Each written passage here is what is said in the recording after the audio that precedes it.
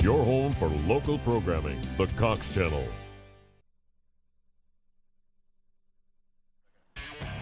A Kansas football tradition in July. The Boys of Autumn under the hot summer sun. Tonight, the 42nd annual Kansas Shrine Bowl from Lewis Field on the campus of Fort Hays State University. The top seniors in the state with one last game. East versus West, out west. The Kansas Shrine Bowl pregame show starts now.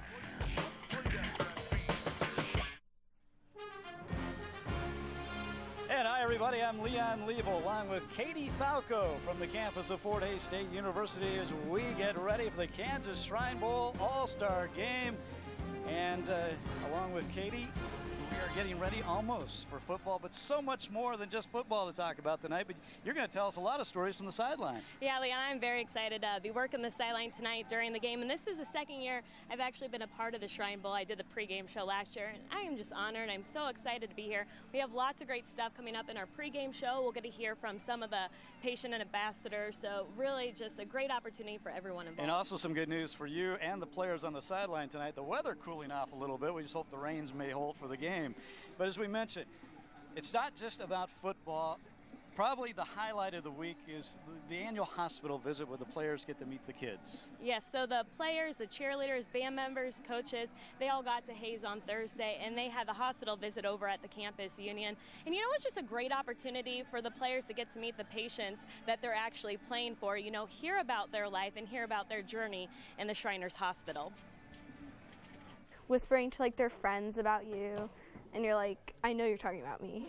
you, but you're so obvious. All the patients of Shriners Hospital have a story. I am an above the knee amputee. Whenever I was two, I was diagnosed with a vascular malformation called genuine diffuse phlebectasia Bockenheimer.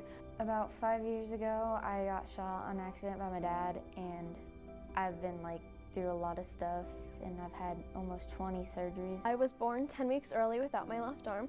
Nobody really knows why. So if you don't mind me asking, what did happen? Yeah, like, like specifically? Yeah. I was on a, do you know like a Sea-Doo or like a Wave Runner or yes. something? Yeah, so I was on it like this, and a rope caught around my arm, and I was going forward, and the rope was going this way, and just kind of pulled it off.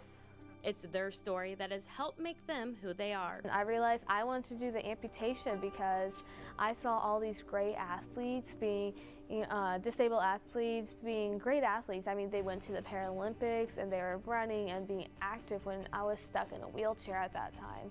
So I wanted to be just like them and show people that I could be athletic just like them. There's this article about a guy named Joe Rogers who's an assistant goalie for Notre Dame and he had one hand like me, except on his right. And so uh, we were interested how he played goalie. So we called him, and he told us that he got his glove made at Shriners Hospital. That's how it all started.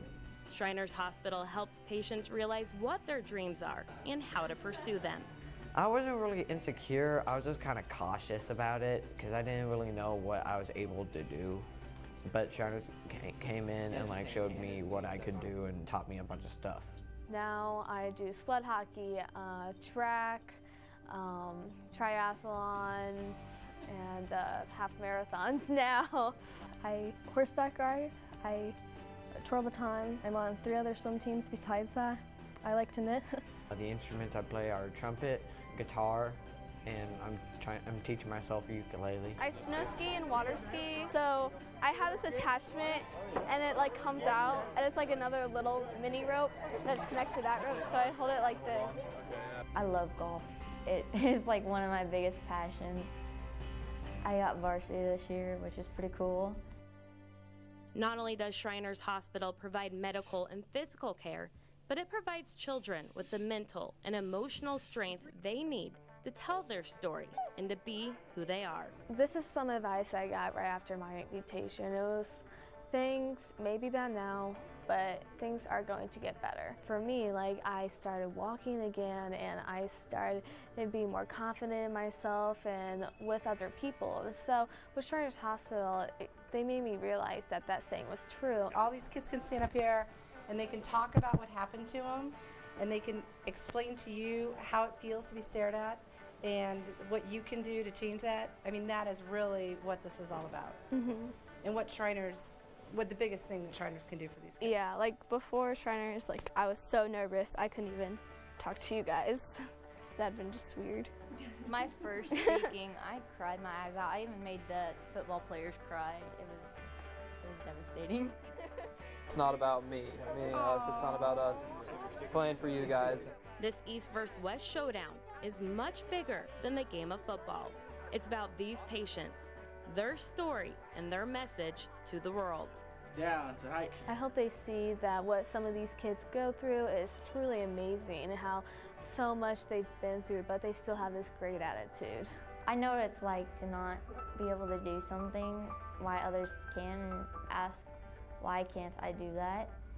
But you can do it. It's it's great. If you put your mindset to it, you're going to be able to do anything you ever want. Nothing is impossible. I can do everything that you can do, but I just might do it a little bit differently. You have to show people that you are different and then you are proud of it.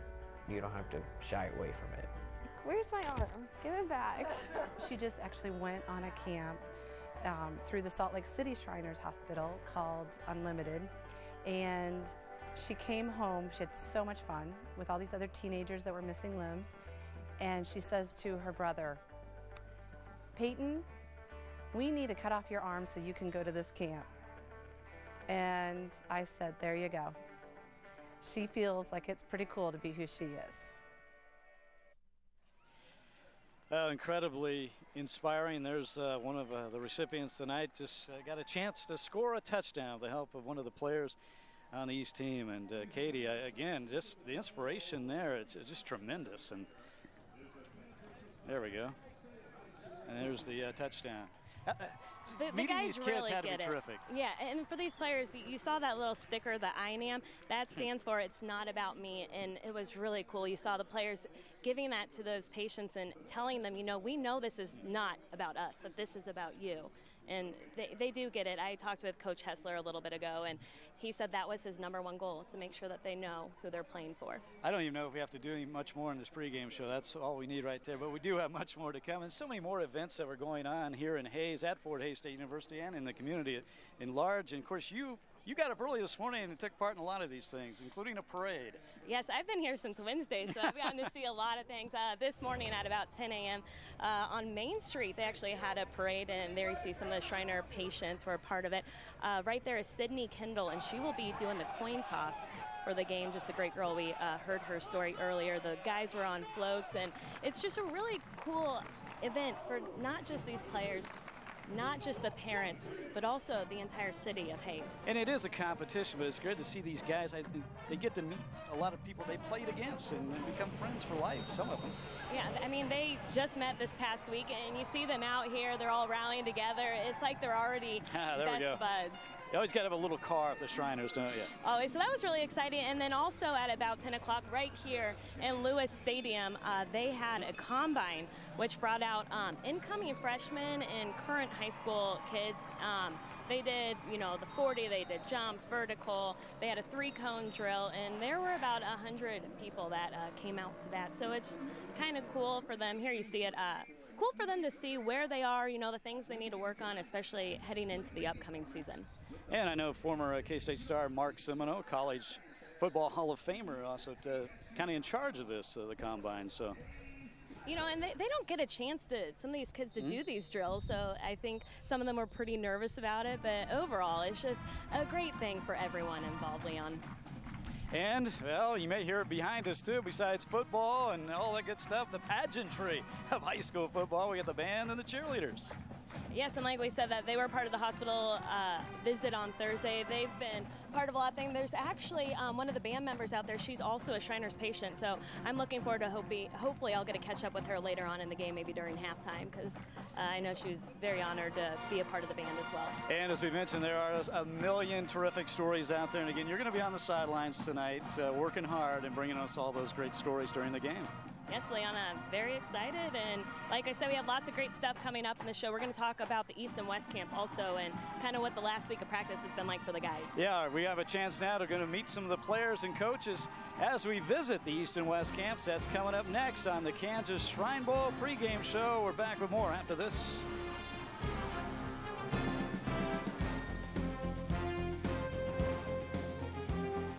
So, what is love? Love is being independent. Love is dancing. At Shriners Hospital for Children, love is a new smile. At Shriners Hospitals for Children, love is caring for a child regardless of the family's ability to pay. If you know a child that needs help, please call or go online today. Discover the Contour app from Cox. The app takes you to a world of personalized entertainment that can change how you watch TV. If you're a Cox TV and internet customer, it's likely you already have access to the Contour app for free. All you need is an iPad or select Android tablet and you're ready. Watch live TV and on demand shows at home, access TV network apps you can watch anywhere, and so much more. Just download the Contour app and sign in with your Cox primary user ID and password to get started today. Coco Key. I went to a place just like the island. Every day is a perfect getaway. Play for the day or stay overnight. Daily admission and overnight packages are available. Coco Key is affordable fun for the entire family. Family fun for everyone.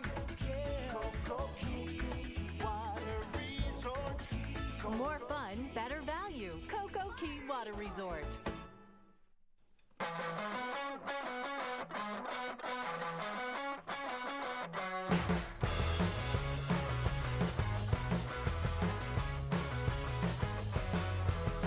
You have somewhere to be work, school, wherever. We believe life's not about where you're going, but how you get there. No matter who you are or what you do, there's a bike for that. Big Poppi Bicycle Company in the heart of Aggieville. It's the Marine Fight Song. Welcome back to the Kansas Shrine Bowl pregame show. I'm Leon Lieb along with Katie Falco, and we've been talking about what's been going on all week here in Hays, but also across the state. The players, the coaches getting ready, and like any all star game, not a lot of time for preparation, but it is a chance to get ready to play a football game and also to get to know each other. We start with the East Camp. For more on their preparation, here's Kyle Hass. East squad, give me three. Woo! East on one, one. East. Like a fine-tuned engine, the East squad is firing in perfect rhythm. And a big reason why is the motto this team has taken on. I am, it's not about me. Whenever we get lazy, we just, he says I am. We basically just know it's for the Shriners hospitals. About raising money for these kids and putting on a great show and so that more people come into even next year's Shrine Bowl, you know, and, and you leave that legacy. With the game carrying a bigger significance than what these players were under in high school, it holds even more weight for some who already know the impact that people's generosity can have. Uh, I got a brother who has cerebral palsy, and it's just you know it makes it feel good and makes a it's special. It's something that it's it's got lasting meaning, I guess you could say. They per persevere and just all the battles they've gone through, and just just play for them and raise money for the uh, Shrine Hospital. Honestly, I didn't have much knowledge about what this game was about, but they came to my house and they explained how they're doing this for a charity event for the Shriners Hospital, and right when they said that, I was just all about it. However, make no mistake, this East team is fully focused on changing what the rest of the state thinks about them on the field. The West thinks we're soft, I guess. That's great that they've won past couple past couple years. I really don't care. It's amazing what these kids can absorb from you know when you get the best of the best how quickly you can get some stuff in. Losing's not an option, actually. I'll go with Mitch and check for check put a check on the mark for a win. We got a few tricks up our sleeves. Uh, I'm not gonna say anything, but you know, I'm just I'm just really looking forward to Saturday. It's gonna be fun. Come kickoff, we'll finally get our answer.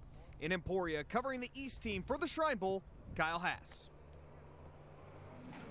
And thank you, Kyle. Again, the East trying to get back on the winning track. The West has kind of had the upper hand in recent years, and the West team also working out this week. They are working out a lot. So the East guys, they had two a days. The West guys actually had three a days. Wow. They did two hours in the morning, about an hour 15 in the afternoon, and two hours in the evening. And this is actually head coach Scott Mosier's fourth time being a part of a Shrine Bowl. He was an assistant coach last year when West won 21 to 6. But like the East, they know that this is much bigger than the game of football. Kyle Hass, who is our high school producer at Time Warner Cable Sports Channel and also a Fort Hays State graduate, yes, has more too, on that. the West squad.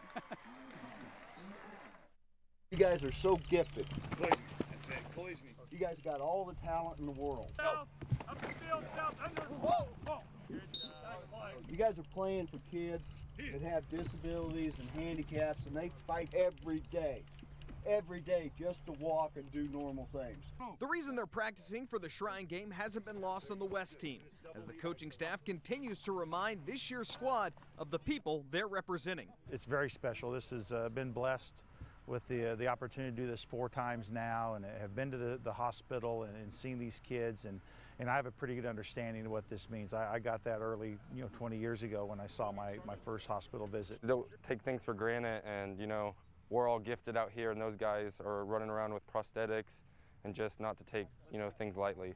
Make our best effort and use it to the best of our ability on the field or whatever we're doing, go 110% just to honor those kids and play the best of our ability.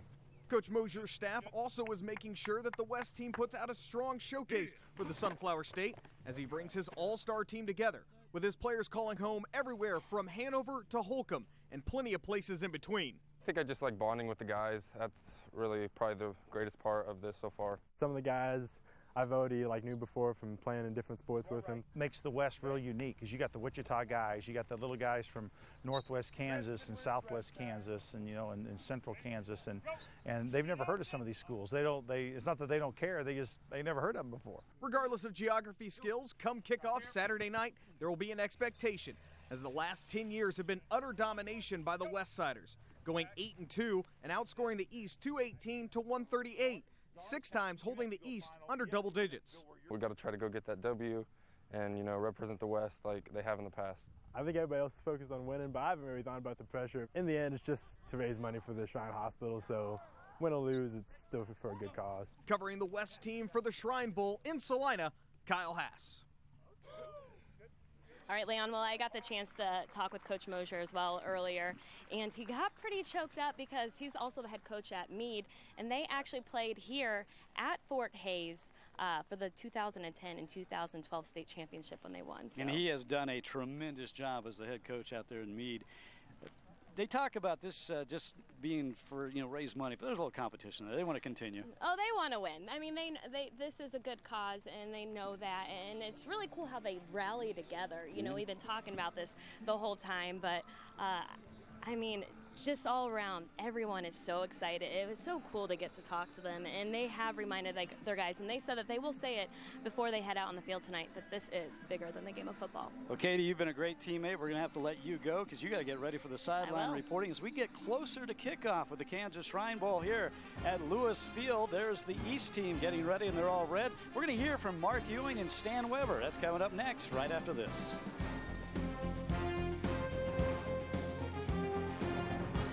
So, what is love? Love is being independent.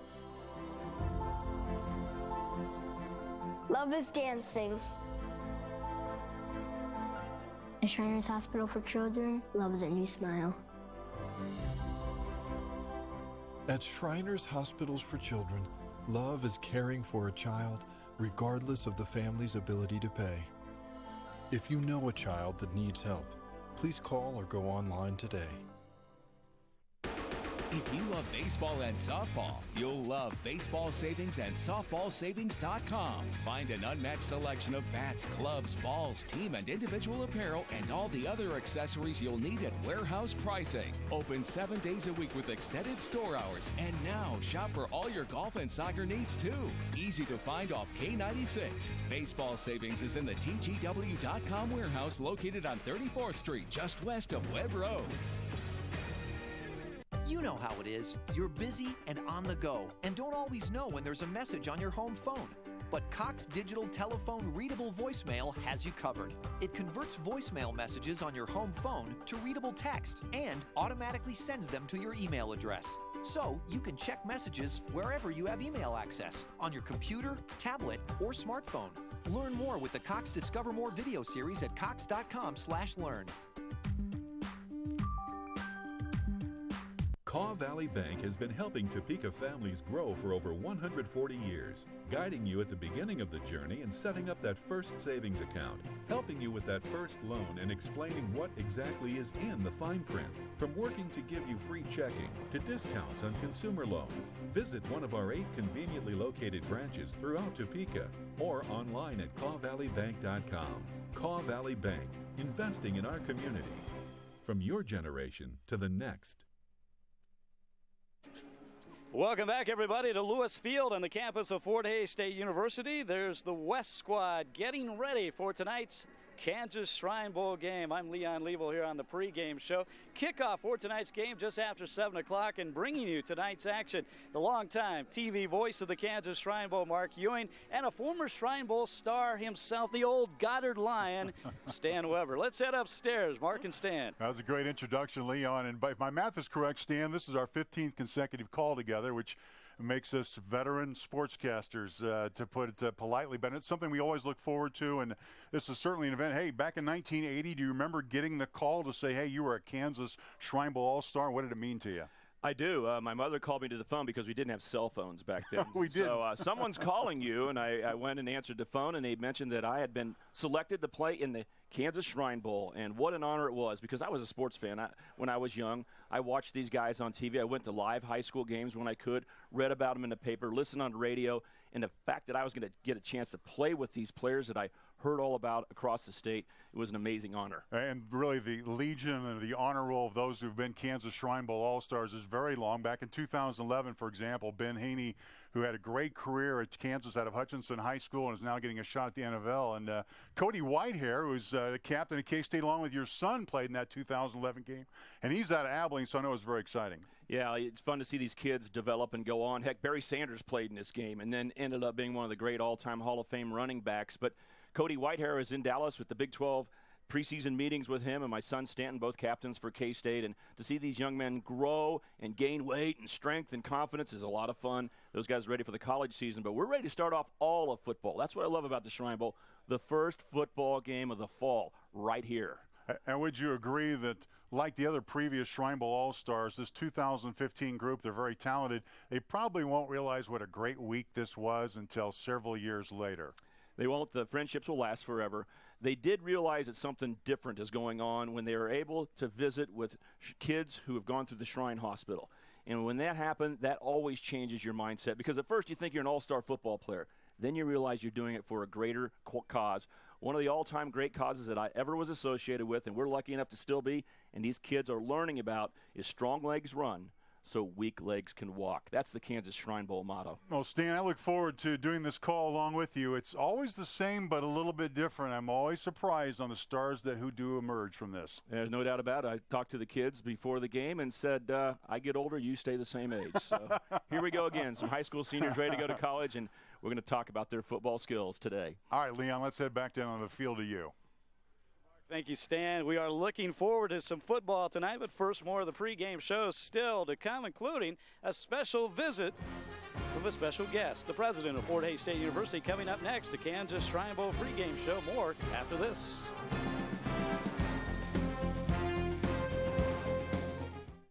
So, what is love? Love is being independent. Love is dancing. At Shriners Hospital for Children, love is a new smile. At Shriners Hospitals for Children, love is caring for a child regardless of the family's ability to pay. If you know a child that needs help, please call or go online today.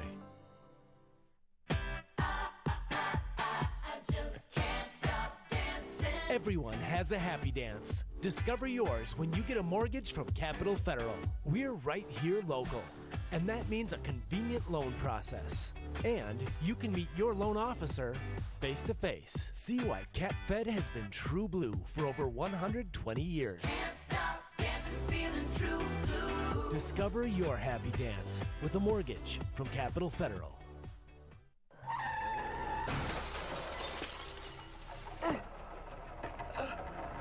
Attorney Gary Patterson, helping you is what we do.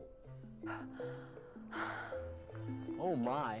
I'm with the insurance company, and we need you to sign right here, right now. Insurance? Talk to my lawyer. Not again. wow, what a great app.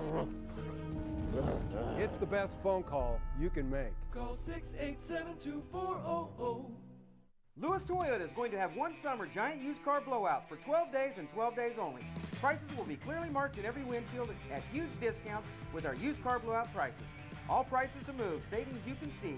No games, no gimmicks, no hassles. Giving you top dollar for your trade.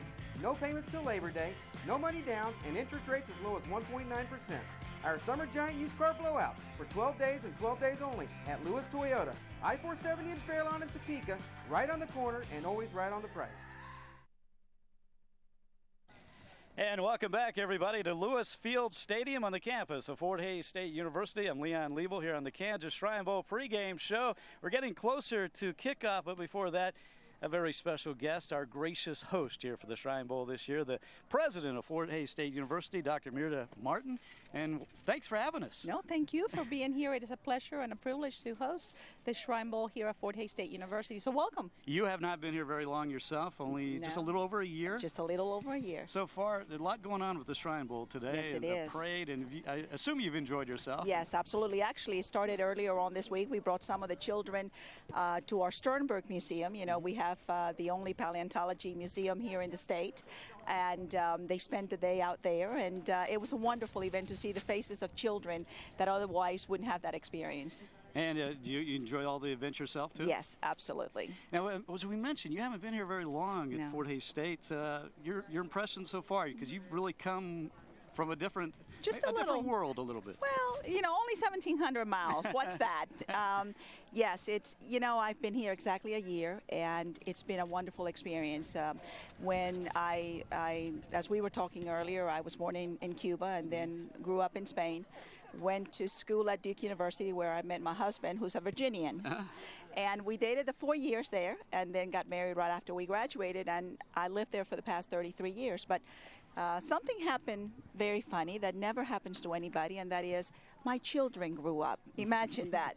And so they left, and we started to look for a home. And we were wanting to find a home where our values were the values of the university, where people did the right thing because it was the right thing to do.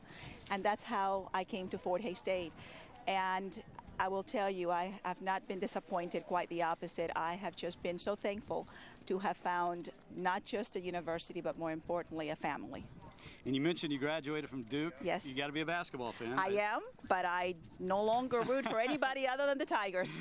and they got some good basketball tradition here as well. Yes, we do, and we've been very fortunate. Uh, we're very proud of our uh, student scholars. Uh, year after year, they outperform themselves both on the field and off the field. And my philosophy about education is, you know, we're here to give our children not just an education, um, to give them wisdom, but more importantly, to make sure that they understand how to use what they've learned here to make a difference uh, unto the human condition. And this is why this Shrine Bowl is so important. Just wanted to ask you that. This kind of all connects It together. all connects together. Exactly right. You know, it's it's what good is knowledge if you don't use it to help others. Uh, what good is is living if you don't impart the the joie de vivre onto Mm-hmm. others?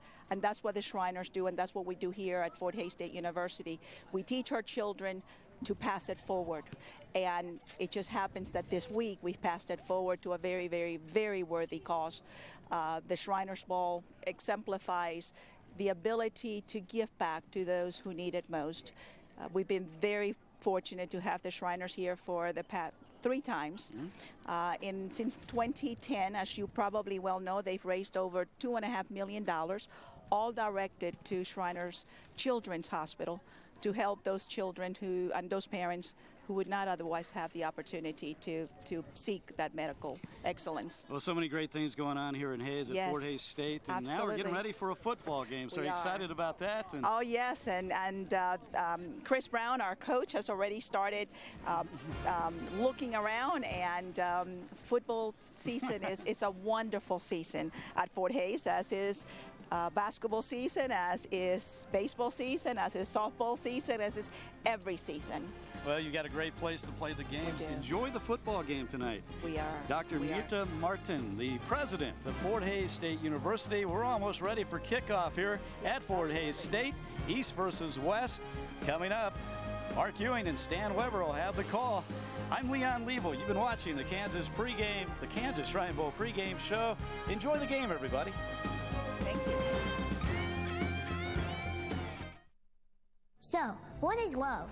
Love is being independent. Love is dancing. At Shriners Hospital for Children, love is a new smile.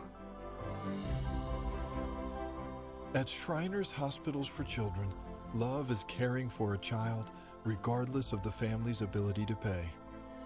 If you know a child that needs help, please call or go online today. Your digital lifestyle means you have a lot of digital stuff. But what do you do with all of it? With Cox High Speed Internet, you have an easy way to safely store, backup, access, and share your stuff anytime, at home or on the go. It's called Cloud Drive, a free cloud storage solution for all your stuff. Get started today. Learn how with the Cox Discover More video series at cox.com/learn.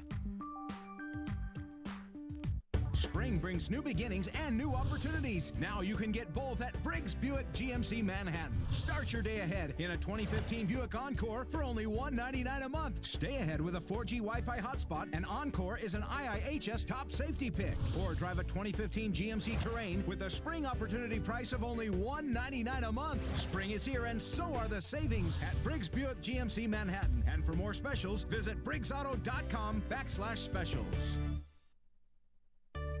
We drive to work, to the big game, to a weekend with the girls, to our favorite destinations, to our families. We'll get you there and back home. If you ever drive the Kansas Turnpike, ever is enough. Order your free sticker K tag today at myktag.com to save on tolls and save on time. History on the gridiron in the great state of Kansas is ingrained with the legends who've been able to call themselves Shrine Bowl All-Stars. Tonight, the state's hometown heroes are set once again to showcase their skills in a return trip to the game's most western venue. The 2015 showdown is on as East meets West.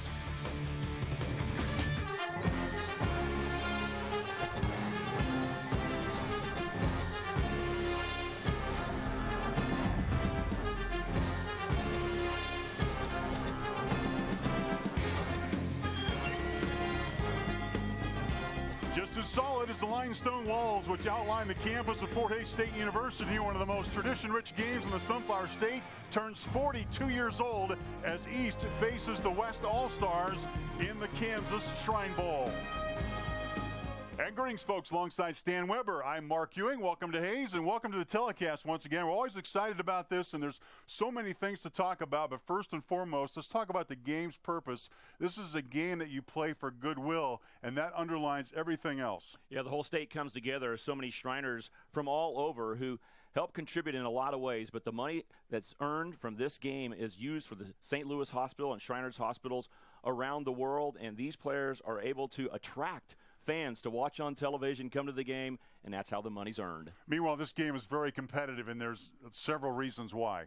Yes, there is. One of the things that you get into is that both teams are all stars. So you've got high level players on both teams. There are no mismatches for coaches to analyze. And the other thing is, it's really hard for a team to come together and be a fine tuned machine. Therefore, there are some inefficiencies on, both sides which allow them to gravitate back to having a close game. Well, the East team, they're the visitors in this uh, grouping. And when I look at the East team, I think they got great speed and combination of size. Uh, they ought to be pretty potent. They really should. They're going to run a pistol offense. They're going to line up in that shotgun and spread the receivers out and look like they're going to pass all night long. But the fact is, they'd rather run the ball than pass, even though they got a lot of good receivers. Meanwhile, the West team always considered the favorite because they've owned this series in recent years, but they're going to be on the option attack. They got an attacking defense, and they're very capable. Yeah, the West defense has a good front line, but on offense, it's a single wing. This is old school. Watch this offense. It's unique, not something you see normally on Friday, Saturday, or Sundays in football season.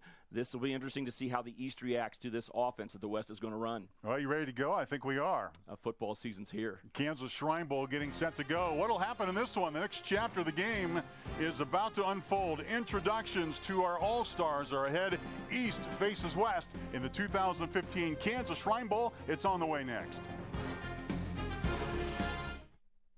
Home It's where we feel the most comfortable. It's family, friends, and memories. The Dunans have made Great Bend not only their home, but their livelihood. And the heritage of Dunan GMC is passed through three generations. We take pride in our community and are honored to serve all those who make it their home as well. Since 1955, Dunan GMC has been here, and we're going to be here for your grandchildren's children because we're all family. It's time to come home to Dunan GMC, where you're always treated like family and where a handshake still means something. Why should you choose Pittsburg State University? Nationally recognized academics. Student friendly tuition. Incredible athletics. The amazing campus. Whatever you're looking for in a university, you'll find it here. It's why you belong. It's why you belong at Pittsburg State University. The mattress liquidation event of the year is going on now at Z Sleep Mattress Center of Hutchinson, located at 526 East 30th Avenue. Save up to 70% on mattresses, bedding, and accessories. Twins as low as 77 bucks and queen sets as low as $98 per piece. Inventory is wall to wall and stacked to the ceiling. It all has to go. No reasonable offers will be refused. Interest free and no credit check financing is available on site. Hurry in today and take advantage of this year's largest savings. Limited inventory is available, and when it's gone, it's gone. Z Sleep Mattress Center liquidation going on now. Don't miss out.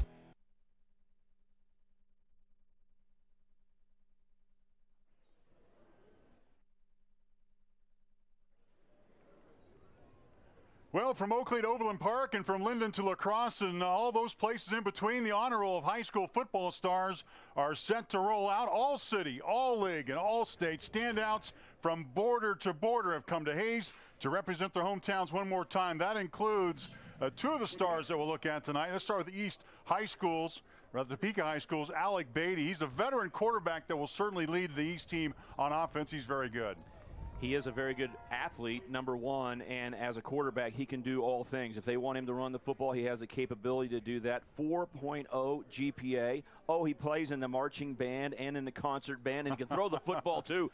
He's a good guy to be a leader. Yeah. Alec Beatty from Topeka will be the East quarterback. Yeah, we should mention great athletes, also good citizens. Meanwhile, West Tyler Burns. The West offense will go through Wichita Trinity's talented back. If the West is to win tonight, Tyler Burns will have to have a big game. Tyler Burns' brother Morgan played in the 2011 Shrine Bowl tonight. He's going to be carrying the football for the West. He will be taking part in one of the most honorable and exciting events that the sports landscape of the Sunflower State has to offer. We are set to embrace the 42nd annual Kansas Shrine Bowl.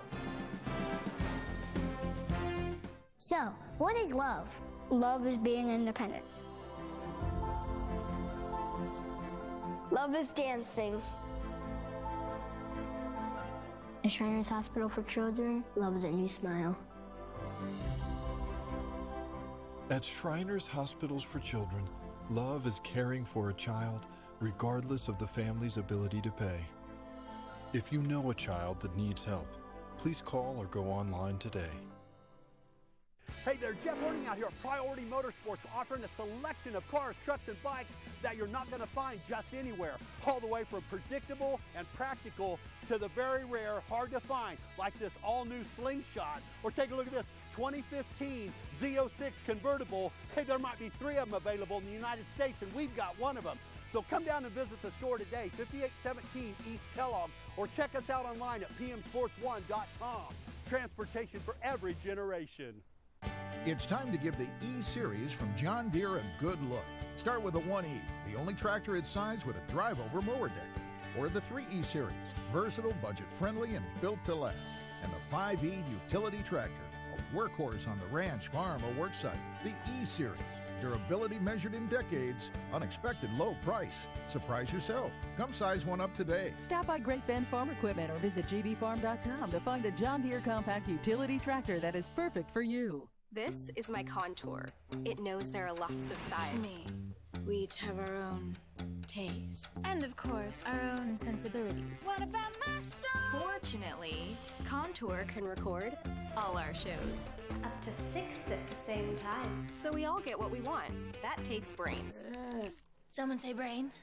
That's why Contour is TV just for me. Record six shows at once for the many sides of you, only with Contour. West won the toss is set to receive. We've had our eyes on the sky and the weather situations. Head on the sideline. Sideline reporter Katie Falco joins us with the latest. Katie. All right, thanks, Mark. Well, yeah, all week we've been preparing for temperatures in the triple digits. Right now, it looks like it's about low 80s. There's been a little bit of light rain, but seems like that's passed by. I did hear that there was lightning strikes within 10 miles, but it looks like we're going to get going here. And if there is lightning, they will have to postpone the game, but they will go ahead and play in the rain. But guys, I'm really excited to be on the sidelines tonight.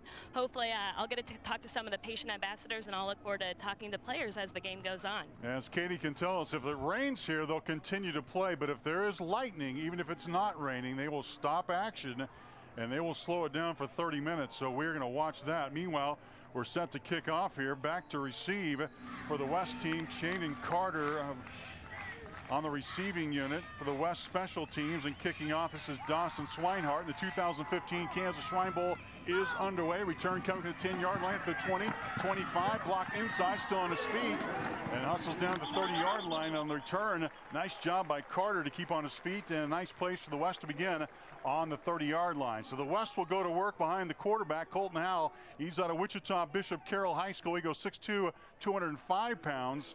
The Butler bound quarterback around the Golden Eagles multiple offense to perfection steps in as the tailback in this single wing setup. Howell led Bishop Carroll to two state championships, 834 yards, 22 rushing touchdowns. Through the air, 1,531 yards, 19 touchdowns, five interceptions. But Colton Howell and his offense back at Bishop Carroll High School, they run a little bit more shotgun, sometimes the spread. So this will certainly be a uh, first time look for him.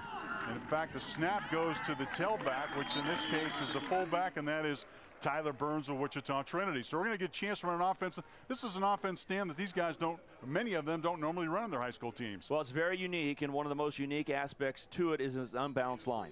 So there'll be two guys to the side of the center, let's say the left side on that first play, and the second one is not an offensive lineman, he's actually a tight end. So line up on the right side. You see number four right there?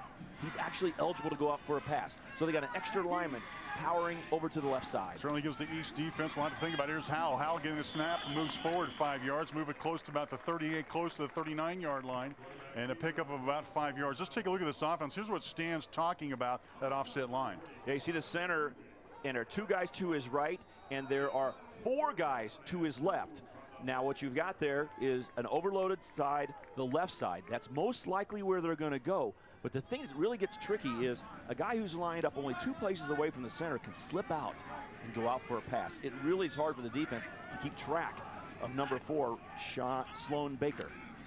Snap is to Burns, and Burns is hit hard. In fact, his helmet pops off at about the 40-yard line. What, a, what, boy, that was an unbelievable uh, hit inside, short of that first down marker, which rests at the 40. He's about the 39 and making the, the big hit for the East team. That was Derek McGreevy, the Topeka Hayden and linebacker. It was his helmet who popped off. He did not get blocked. He worked his way through the line. Derek McGreevy makes a tackle at the line of scrimmage.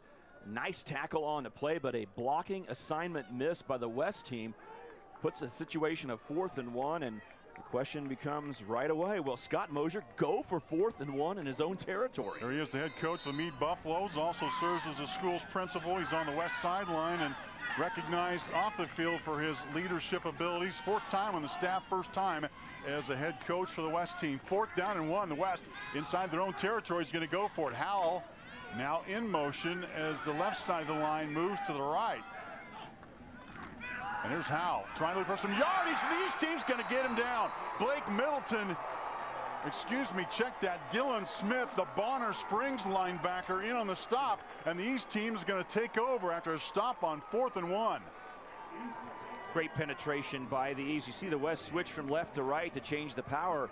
But there are so many guys in the backfield. Everyone keeps their body square. You see the lineman taking the charge of the offensive lineman on, and it is just a mass tackle. There's no place to go and the East turns the football over on four downs and gives their offense great field position. So Alec Beatty of Topeka High puts his offense to work. This will be a different look for him. A six foot, 170 pounder, 4.0 quarterback at his GPA, and this give us to Tony Barksdale. So you got a all Centennial League backfield. Barksdale's on a Shawnee Heights which is in Tecumseh, which is near Topeka. And I've heard that Barksdale's had a good week, and that's a nice pickup of about six yards. And they're quickly, quickly back to the line of scrimmage. We'll call it a pickup of five. Second down and five for the East team. They're at the 33 yard line of the West team. And snap is Beatty. Here's Barksdale fighting off the crease. He fights off one blocker, but doesn't get to the third, making the stop on the far side of the West team, that was Willie Edwards from Wichita East, who comes back from his cornerback position to make the stop after a gain of about one. That was a good tackle after a break of tackle by Tony Barksdale Jr., a very explosive running back. But both teams are very happy with their defensive fronts. So we're going to see, while both teams run the football, will it be effective doing it down after down? The East with their first third down scenario of the ball game. And again, Beatty about four yards behind center, gives to Barksdale. Barksdale dances inside, needs to get the 28-yard line, does so, down to the 27. It appears that the East team has converted on their third down and about four. Good power by Tony Barksdale. It looked like he could have been tackled short of the first down on the zone read to the inside, but there you see the first tackle missed. The second tackle was made, but not before he spun far enough far down the field to get a first down. First down and 10 for the East team at the 32-yard line. Beatty with the snap. This time he's going to keep it on the option, and he's wrapped up, brought down inside, making penetration for the West team. That's Blake Richmeyer out of Holcomb, the 6'2", 220-pound linebacker. Made the right read and got to the quarterback. Yes, he did.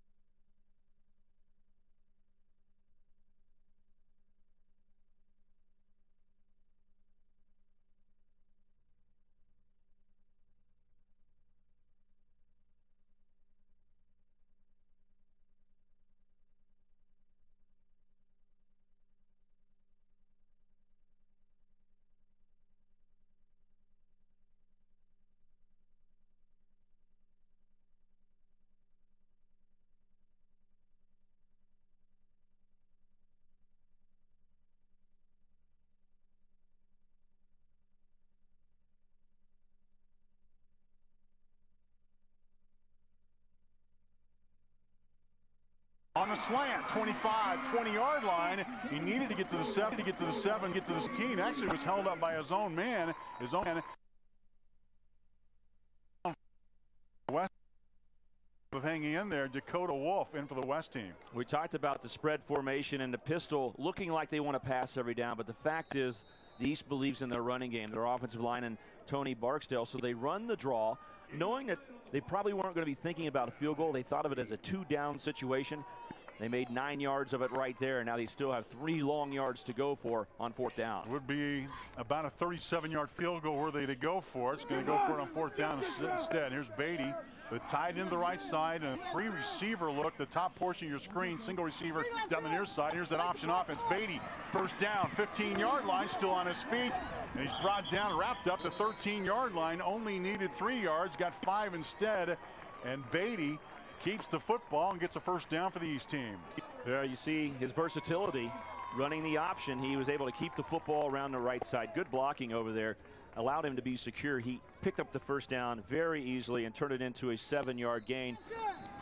Don't see the option too much nowadays. A lot more passing offenses, but well run and a fourth down conversion for the East. The West couldn't convert on their fourth down. So here we go, first down, and here's Barksdale spins forward 10 yard line, He gets a pickup of about three yards. And what do you think of Barksdale so far? I like his his spin moves. He's tough to tackle. He always keeps on the move.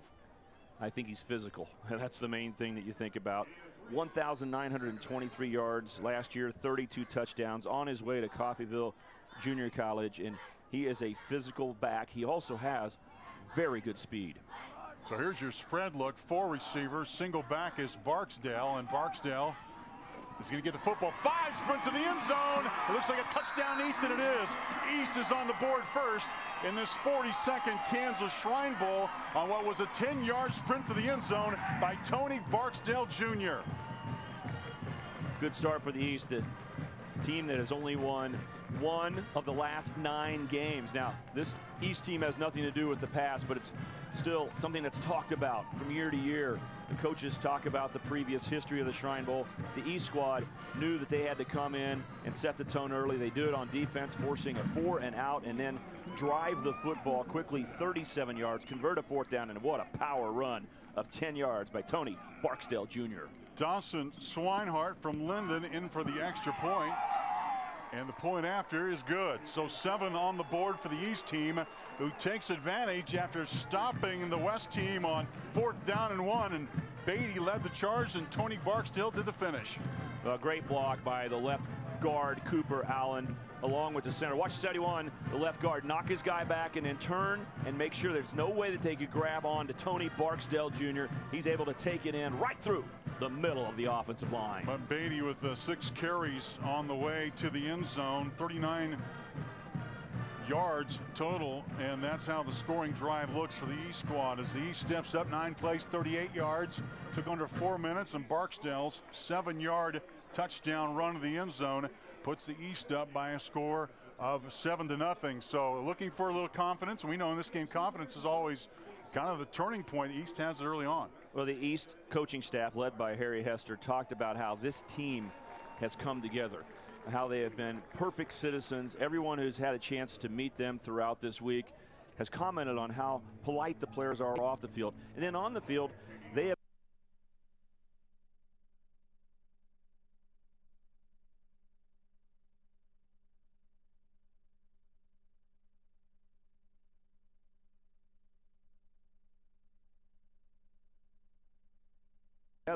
Heather,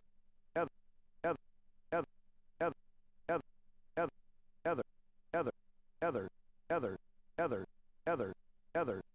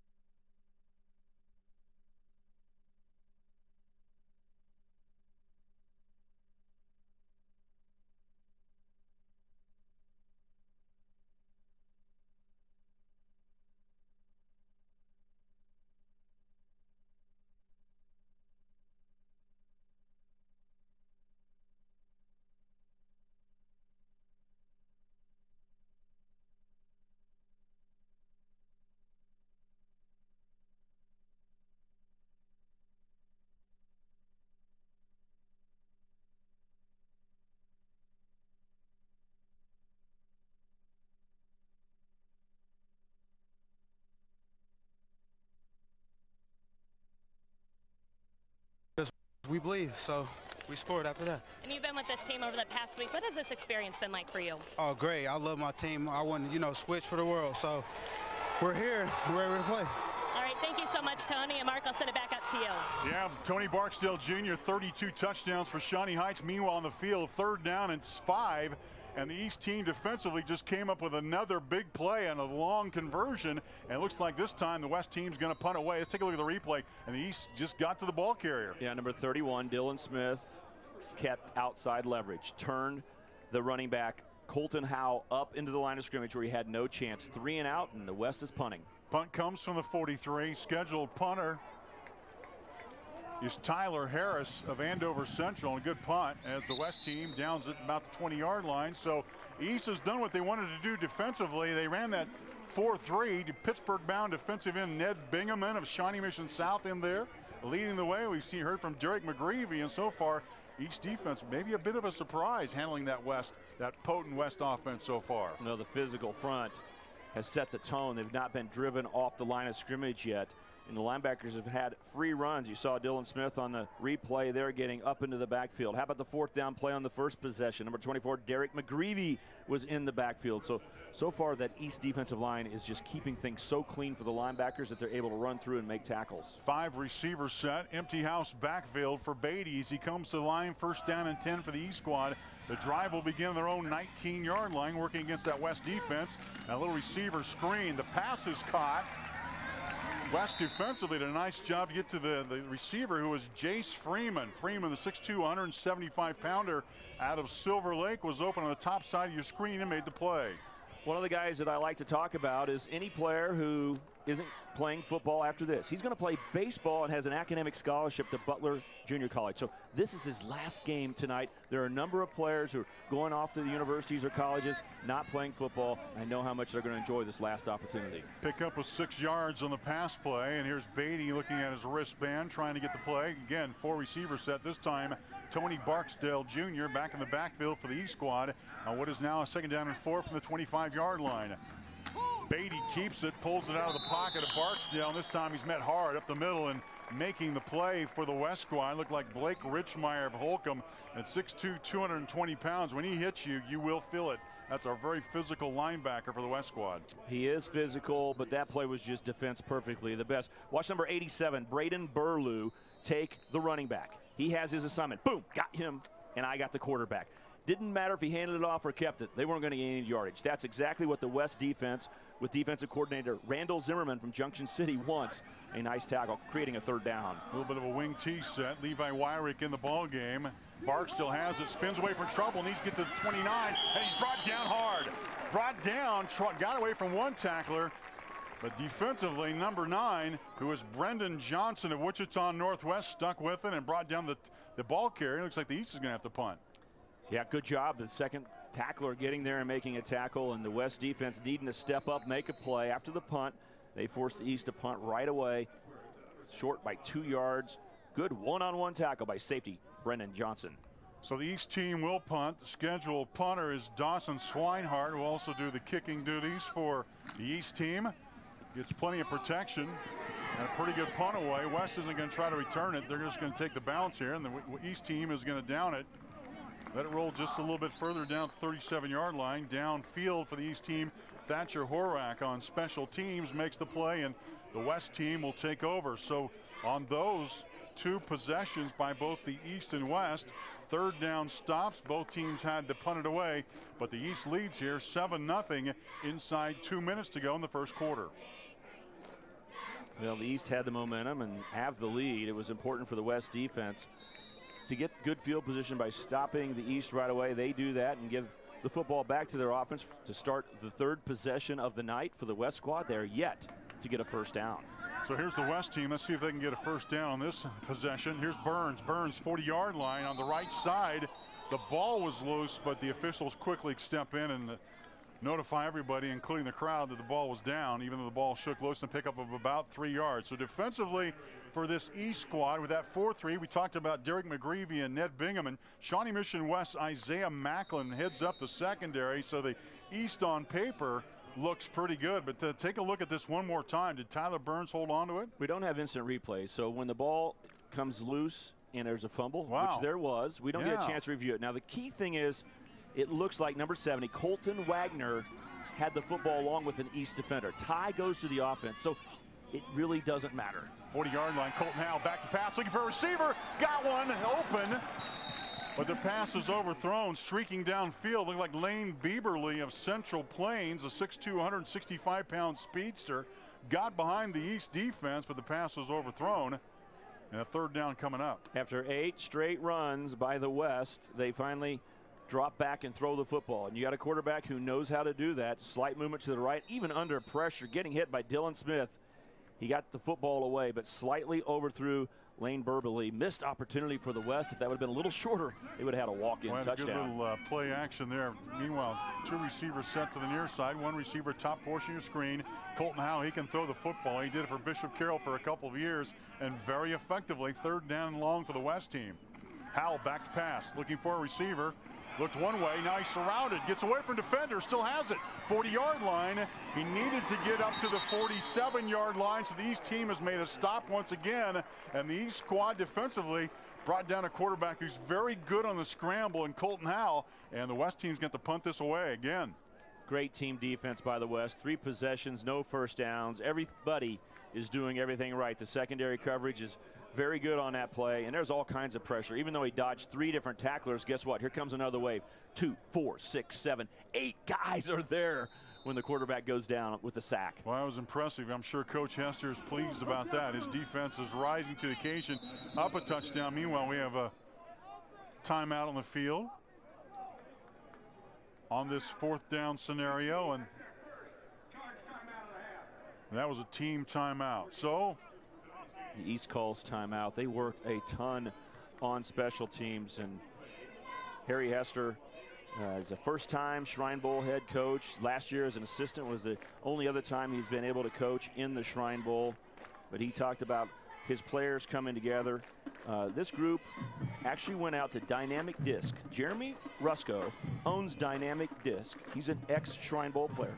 And the players went out and they played disc golf. they had a scramble with a four-person scramble. They each had a putter and they had a driver. If you if you ever played frisbee golf, you know there's Yeah. all kinds of different frisbees Right. you use. Each player got one that said that it's a Shrine Bowl one that they could keep for the putter, and they also got a driver to throw longer distance. Now, they kept those smaller ones so they have a memento from that team activity. A lot of them don't have the driver though. A lot of them ended up in the water. Just like you would do Some, some bad drives, they lost. They had to borrow. So they did a four-person scramble, had a lot of fun, and the East team really seemed to come together. They also had this ping pong tournament. These guys Right. love playing ping Oh, yeah. pong. They thought they were pretty good. There's a couple students that walked in from Emporia State, and these students said, "Hey, we'll play against ping pong. You know, two against two, team team ping pong." They played everybody on the team and wiped them all out. so these Humble. Whoa, uh, Whoa. They got. They were just in awe, going, "How did those guys do that?" And they lost every ping pong game. So it's still a team building activity because they all lost. Worth noting the game uses 12 minute quarters is governed by high school federation rules as this punt gets away and a good one to get a bounce out of bounds at the 25 yard line.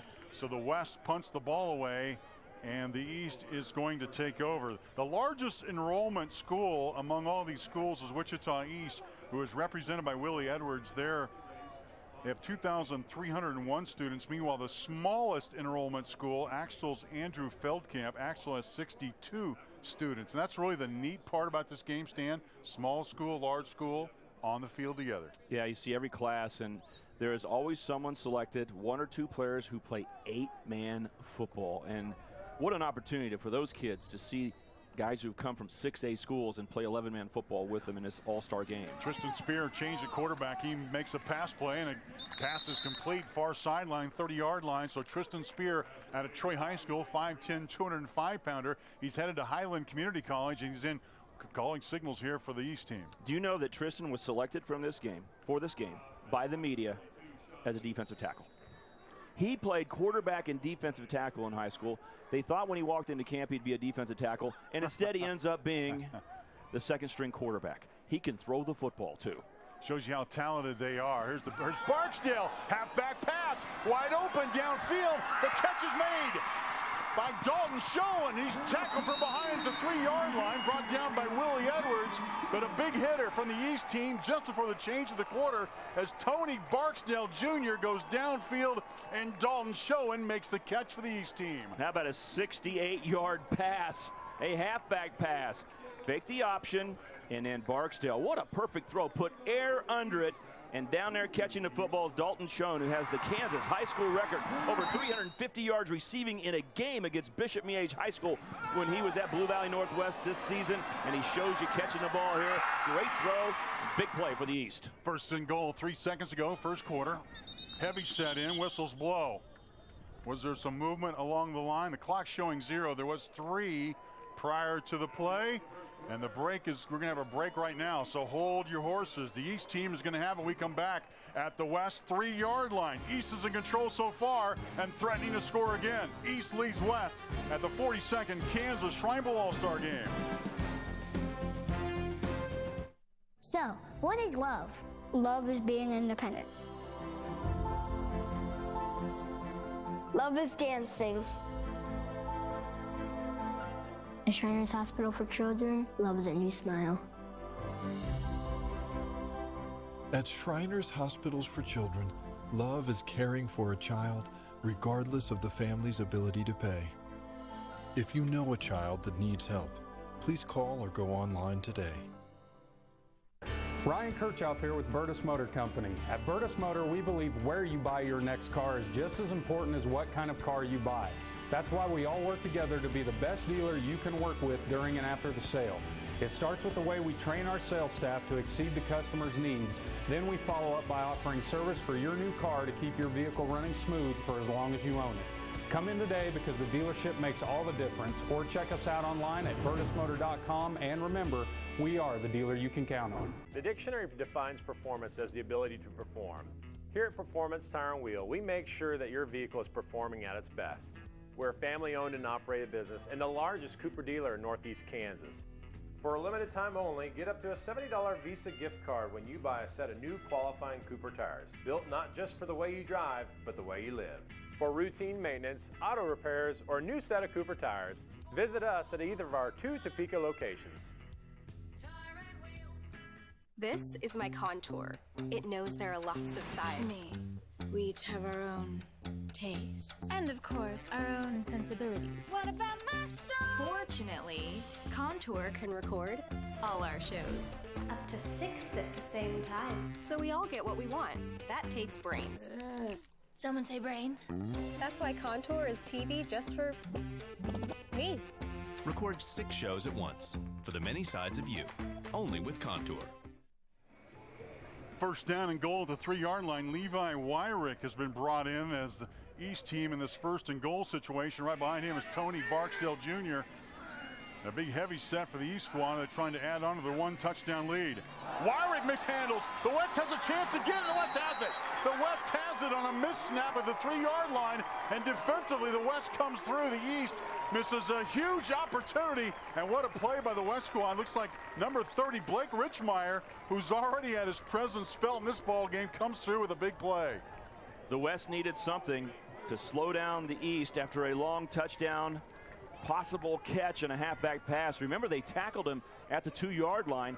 How important was that after you see this play right here? Ball a little bit high, quarterback running toward the line of scrimmage. Levi, Levi Wyrick, remember, this is first play of the game. It's pretty nervous to step in Yeah. for your first play and try to run the ball near the goal line. Everything squeezed. He fumbles the football. The West is all over it, and they get the first turnover of the game. Well, that may have been a big spark of momentum for the West team who needed it. Takes over first down and 10 and then moved to the outside, now inside. Here's Tyler Burns at the 15 yard line, a pickup of about three yards for the West squad. West, in their single wing offense, besides Colton Howell, the West has Andale's, Hunter Knobloch, Tyler Burns of Wichita Trinity, Trinity, Tyler Harris of Andover Central, Chaden Carter of Augusta. That represents about an 8,000 yard backfield plus all those touchdowns. So the fact that the East shut out West and the fact that West has no first downs in 10 plays is really almost a mystery at this point. Well, they're trying to get them off guard. They're moving their whole line from power left to power right.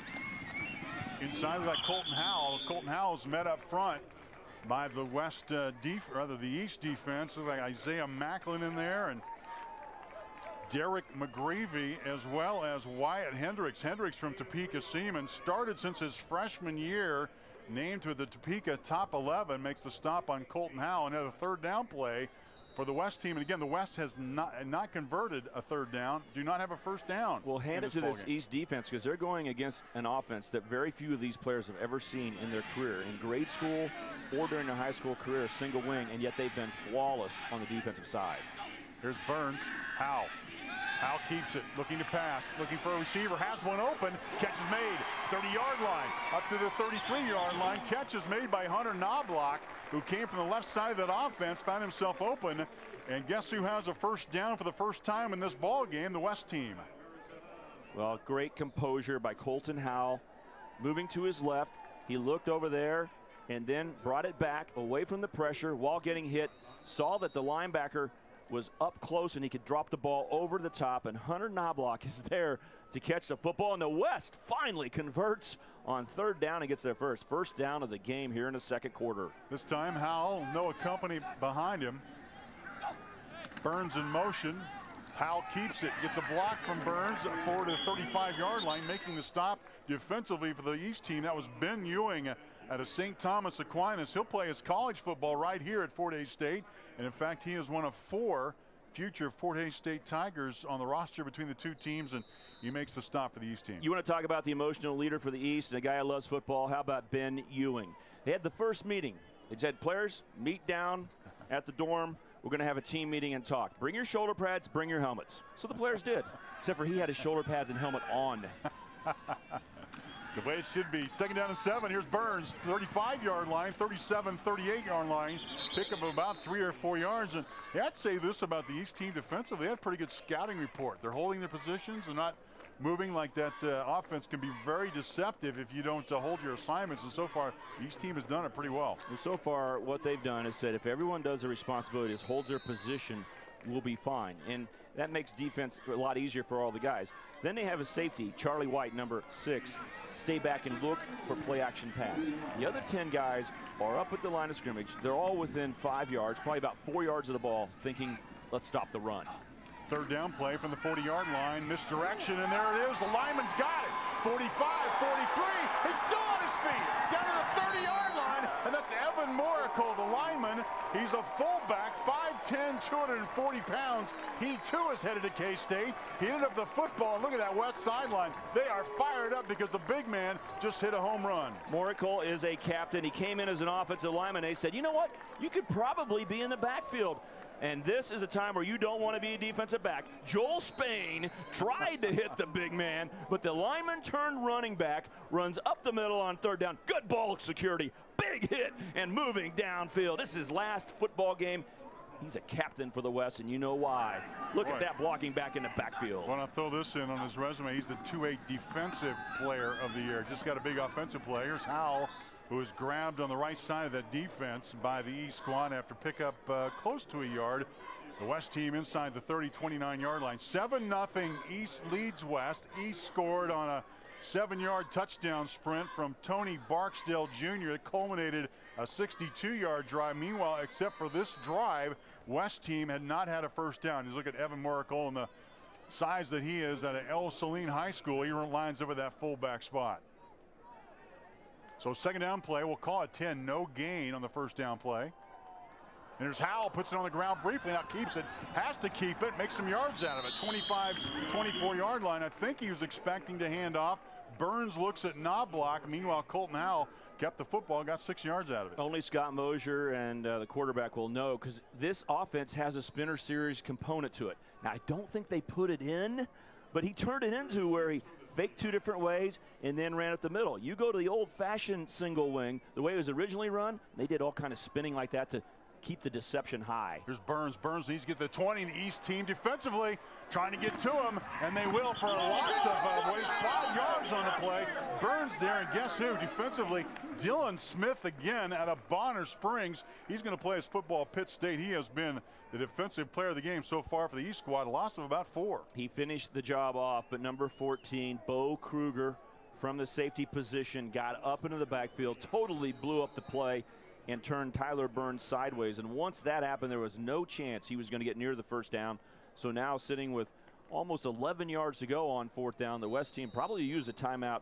Scott Mosier needs to talk about what they're going to do here on a big play. Gives me a chance to talk about the assistant coaches of both teams, and uh, both should be recognized. Since we're looking at Scott Mosier, the West assistants are, are also an all-star cast themselves. Randall Zimmerman out of Junction City High School, Sam Sellers out of Salina South, Tom Audley out of Andover Central, Glenn O'Neill, Scott Community, and Terry King, Ell-Saline and 3A. Those are outstanding coaches. Meanwhile, for the East team, the head coach at Cherryvale, let's Harry Hester, he's assisted by Walt Alexander of Topeka, right Blake Pierce Seaman, Bob Campbell of Fort Scott, Brad Burkdahl Wellsville, and Chris Schmidt of Olpe as we get up close and personal with Scott Mosier. He's trying to get his West team fired up. Fourth down play coming.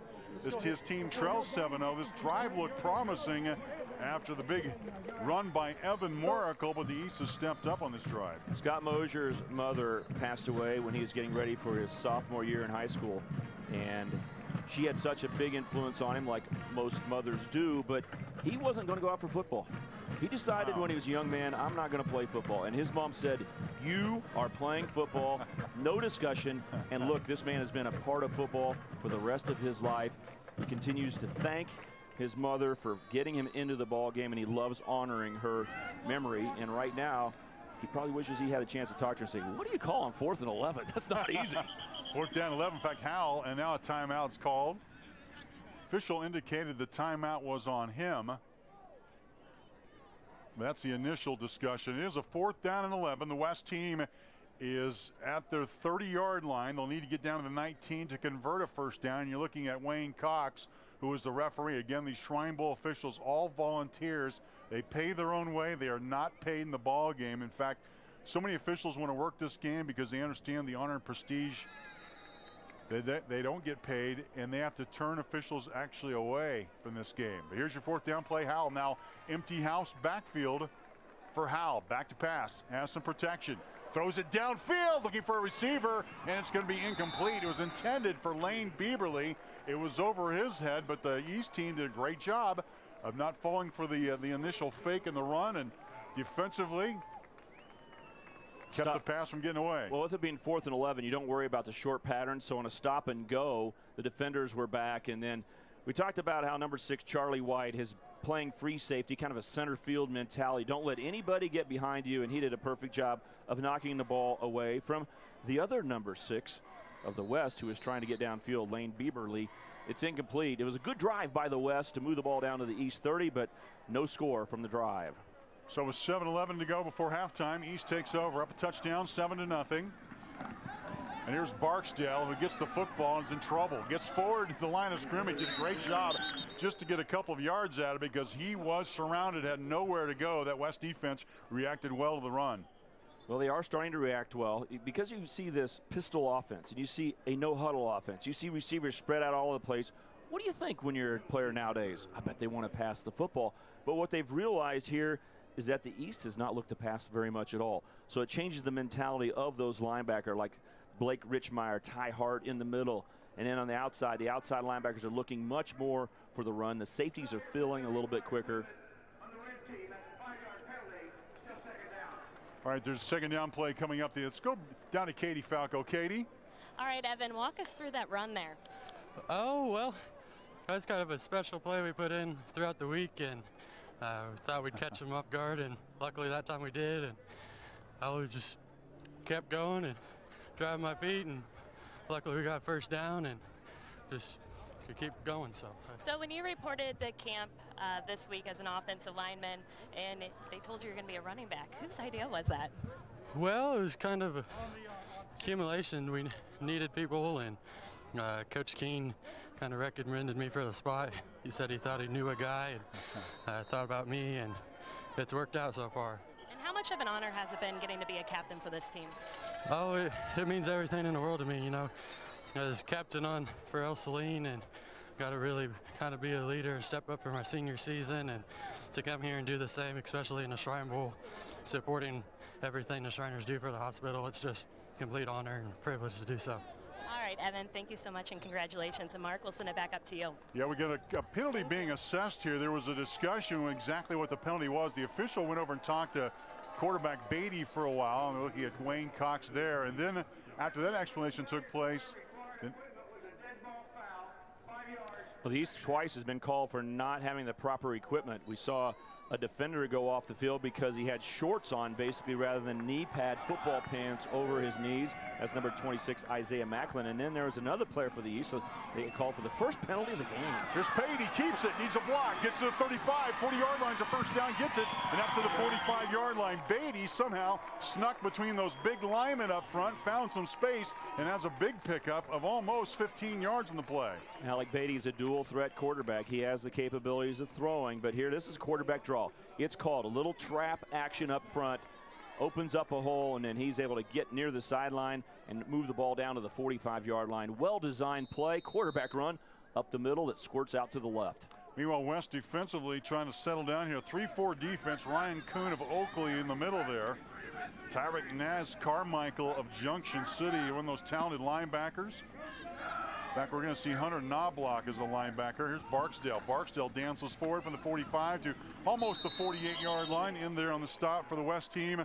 Hunter Knobloch, who also is playing some offense. In fact, in this game, I mentioned Hunter Knobloch, Stan, because in recent years, and you and I have done this game for a long time, they've used primarily two platoon football. Hunter Knobloch playing, playing both ways is kind of unusual. Yeah, there's a lot of pl two platoon football now played in high school. There's not very many schools left that have a lot of guys going both ways, and Knobloch's one of the few that's going to tonight, doing it for the West.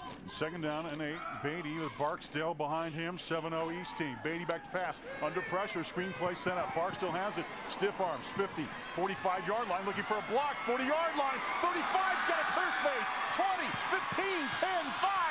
Touchdown East. Barksdale scores the second time in the ball game, and it's 13 0 East in this 42nd annual Kansas Shrine Bowl. Blitz by the West from the right side of the offense meant there are very few people left on the left side. Could Tony Barksdale Jr. break a tackle? As soon as he broke one tackle, there was open field. He slipped by another guy and took it all the way. What a great call. Harry Hester the Cherryvale High School coach and the head coach of the E squad had the perfect play called. Blitz over to the right side, get rid of the football by running a screen to the left, and it turns in to a 53-yard touchdown pass. Beatty holding for Swinehart.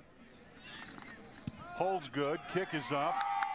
And it is good. 14 0 East leads West here at the Shrine Bowl. It was a screenplay that made it possible, but Tony Barksdale Jr. followed the blocks to perfection. He did. He, he gave it great stiff arm to number 87, Braden Burlew. Slipped off a tackle from number seven, Javon Burse, and then raced down the left sideline. But there weren't very many West defenders in position to stop this play because you saw from the end zone angle, the rush was coming from the right. They had the players on the wrong side of the field. Just an accident from the West defensive perspective. And great fortune for the East. And you give Tony Barksdale Jr. a little bit of room, he is going to make you pay. Scoring a touchdown and the West has a two-score lead. Four play drive, 76 yards, took a little over a minute. Barksdale, 63-yard touchdown reception. Beatty now three for three, 59 yards passing. And Barksdale, he is running the ball well, catching the ball well. Let me correct myself. I said the West has a lead. The West has won eight of the last nine games. Maybe we've been saying that too much well, over we the have. years. It's the East. I know the East wears the red, but it's only the second year in the history that they actually wore the red jerseys. Right. Before that, in the first 40 games, they had white jerseys.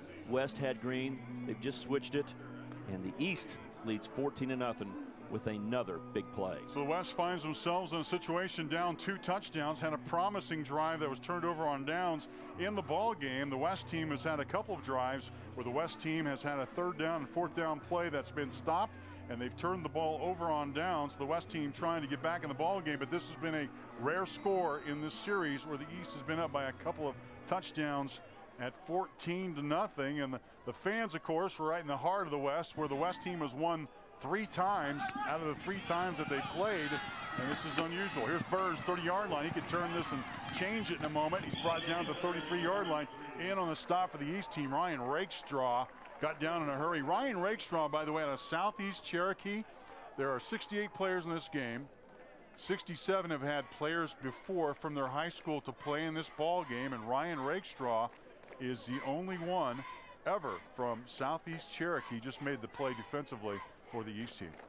That's a pretty big honor right there. It sure is. Because now the Shrine Bowl allows only one player per school to play in this ball game. There's a rare exception in this game where there's two players from Topeka High because there was a substitute. But normally you can only have one player. So that means there are a lot more schools represented, and yet he's still the first from his school. First down and 10 for the West team, 34 yard line. Colton Howell and now the West team wants a timeout. The West called a timeout. That is the third, should be their third and final according to my count. The West team, Tyler Burns lined up on the right side, then immediately looked at Mosier, and Tyler Burns gave an indication that he looked like he had lined up wrong. So the West called a timeout. This is an important drive for the West team, given the time situation, so why not call timeout? Yeah, he'd love to get a score before the half, and the West knows they've had some good plays on the last possession. It was the only possession they've had first downs, but they drove the ball all the way down to the 30-yard line of the East. But the thing that they're trying to do right now is not just run their offense. They'd like to get the ball to Tyler Burns and get him some space. There's an example where they probably are trying to set up a play by lining him outside the backfield and hope they can get him the football. Worth mentioning 56 of the 68 players in this ball game will play college sports. 51 of them will play football at the college level. For the other 17, the Shrine Bowl, their last opportunity to put on the helmet and shoulder pads. So it's kind of like graduation ceremony for them. And for the other college bound standouts, kind of the first game of their college careers here. 14 nothing, 5.55 to go. Second quarter is Howell. Howell looking for a receiver. He's got Knobloch. Catches the ball at the 35 yard line. But there to make the play once again, that is Dylan Smith. The Mike Rivera Award winner has been an award winning defender so far for the East team tonight. He plays for Blue Valley High School, going to play for Pittsburg State. A number of these players on their way to play Pitt State. Just fundamental defense. Now in the EKL where he plays, passing offenses are the norm. So he has no trouble at a linebacker knowing exactly where his angles should be. You can see that he's big and strong and athletic and looks the part, but he also is very comfortable against the passing game. So Dylan Smith makes the stop. Second down and 10 for the West team who go to work here. Colton Howell's gone all the way for the West squad. He's had some talented backfield guys with him. Hunter Knobloch, who's in motion. He gets the football, but some another handoff, a double handoff. This time Tyler Burns takes it from the 34 yard line out to the 37. When you got so many practices, like 12 or 14 that they had, running a play like that, it's uh, very difficult to pull off, but they did it nicely there. It is, and one of the things they're trying to do is get a change of direction, a misdirection mentality. But those guys received the handoff, the initial handoff, and the pitch, they happened so quickly, the defense didn't get a chance to react. If, if Knobloch would have taken a step or two more and made him think he's truly going to the left, it would have opened up more for Tyler Burns on the right side. Third down, West team to my count has two first downs. That was in their last drive prior to that. 10 plays, no first downs. Here's Burns, 40 yard line, 45 first down. West has the first down, but there's a flag down as well. Thrown behind the play, uh, thrown in the direction of alignment. It was thrown right at Logan Creek, who's out of Conway Springs. That's where the flag came from, so it could very possibly bring back this play, which would have been a first down for the West. It's the first holding call and this first penalty against the West. It's been a very clean game when you think about penalties. The East only penalty was caused by a malfunction in equipment, which is a rare penalty. And here we have a holding call, big penalty because Burns had gotten the first down over the left side, but it is called back. So ball move. We're calling that against Logan Creek. He actually ran the single wing in high school at Conway Springs. So he is very used to playing this and was super impressive in camp. In fact, he's going to Butler County Junior College, and the coaches have talked about he may be good enough to play at a higher level. But he dominated his guy so much that they said that he twisted and held him. Third down 14. Colton Howell tripped up, falls down back at the 19 yard line. That was an easy play for the East defensively. Howell just lost his footing. He's down. Long fourth down play coming up. And the West with their chins down as they head to the sidelines. East has held them again. What a momentum difference that is. Instead of having the first down out near midfield, the penalty, and then the quarterback tripping on the turf, falling down all the way back at the 22 yard line means they are punting and actually lost 12 yards net on that drive. Tyler Harris from Andover Central is the punter. Gets a good boot, but it's going to the 45 yard line. Actually takes an East roll. So it's going to be the 43 yard line. The East team with a two touchdown lead here in this Kansas Shrine Bowl is going to start this drive in West territory and has a real chance here to really seize control of this ball game. This is really on the West defense on this drive coming up. Yeah, a lot of pressure on the West defense because there's very little momentum right now, and you know, one mistake leads to one play that ends up being bad, then a punt that doesn't roll forward at all, kind of slips off the right foot of the punter, Tyler Harris, doesn't take a good roll, and now the East has the football at the West 43 yard line. Keep in mind the East fumbled at the three yard line, could already be a three touchdown lead. 3.28 to go before halftime. Stick with us. You're going to hear from the band at halftime. That is on the way. And we'll also hear from dignitaries check presentations. Halftime is an event as well at the Kansas Shrine Bowl. Here's Beatty looking downfield, still on his feet and hit, and finally wrapped up and brought down. Boy, he was hit by a couple of West defenders and somehow managed to keep his feet. Just shows you how tough Beatty really is. He is a he is a guy that's going to be great at the Division three level next year. Yeah, going up to St. Paul, Minnesota, Macalester College there and he's not the biggest guy. It was just a coverage sack, really, because he had enough time in the backfield while he's rolling out to find a receiver, but there was no one open downfield. Sack record, second down, and we'll call it 14. Ball on the 47 yard line, 14 nothing East, inside three minutes ago. Beatty with a five receiver set tied into the ball game. Beatty is going to keep it, and right there to make the play and a big one. Big number nine, he comes up to play. Carlos Taylor from Wichita High School, six foot 245, and he just laid the helmet right in the center of Beatty. Five wide means the only running action you're going to get is quarterback draw. And they tried to make it work, but Carlos Taylor ran right up the middle. Watch him bust through. Four different guys touched their red jerseys on Big 90, and none of them ended up getting a square shot. He busted right through everybody and buried the quarterback for a loss. Well, Beatty's up and okay, but he's facing a third down play. Tony Barksdale behind him. He's in the backfield. Again, four receivers set for the East team. Beatty's going to pass. Catch is made like Schoen on the far sideline. It is Dalton Schoen with the catch makes the play at the 43 yard line. And get to the original line of scrimmage, but a fourth down play is coming up, and the East punting unit is coming into the ball game. The West defense did their job with no momentum. Great field position for the East, down 14 to nothing. They had to come up and make some plays. They did. They don't allow the East any net yardage. They lose one yard on the drive, and now they're forced to get into punt formation. So timeout is called. The East wants to make sure they have their punt defense set up here.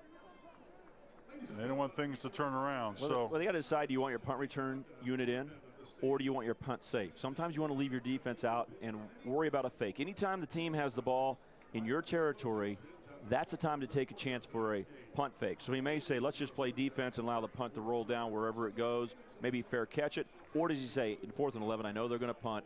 Let's run our punt return unit out there and try to return this thing. A total of these 68 players, 34 on each side, were selected by a vote of the state's media.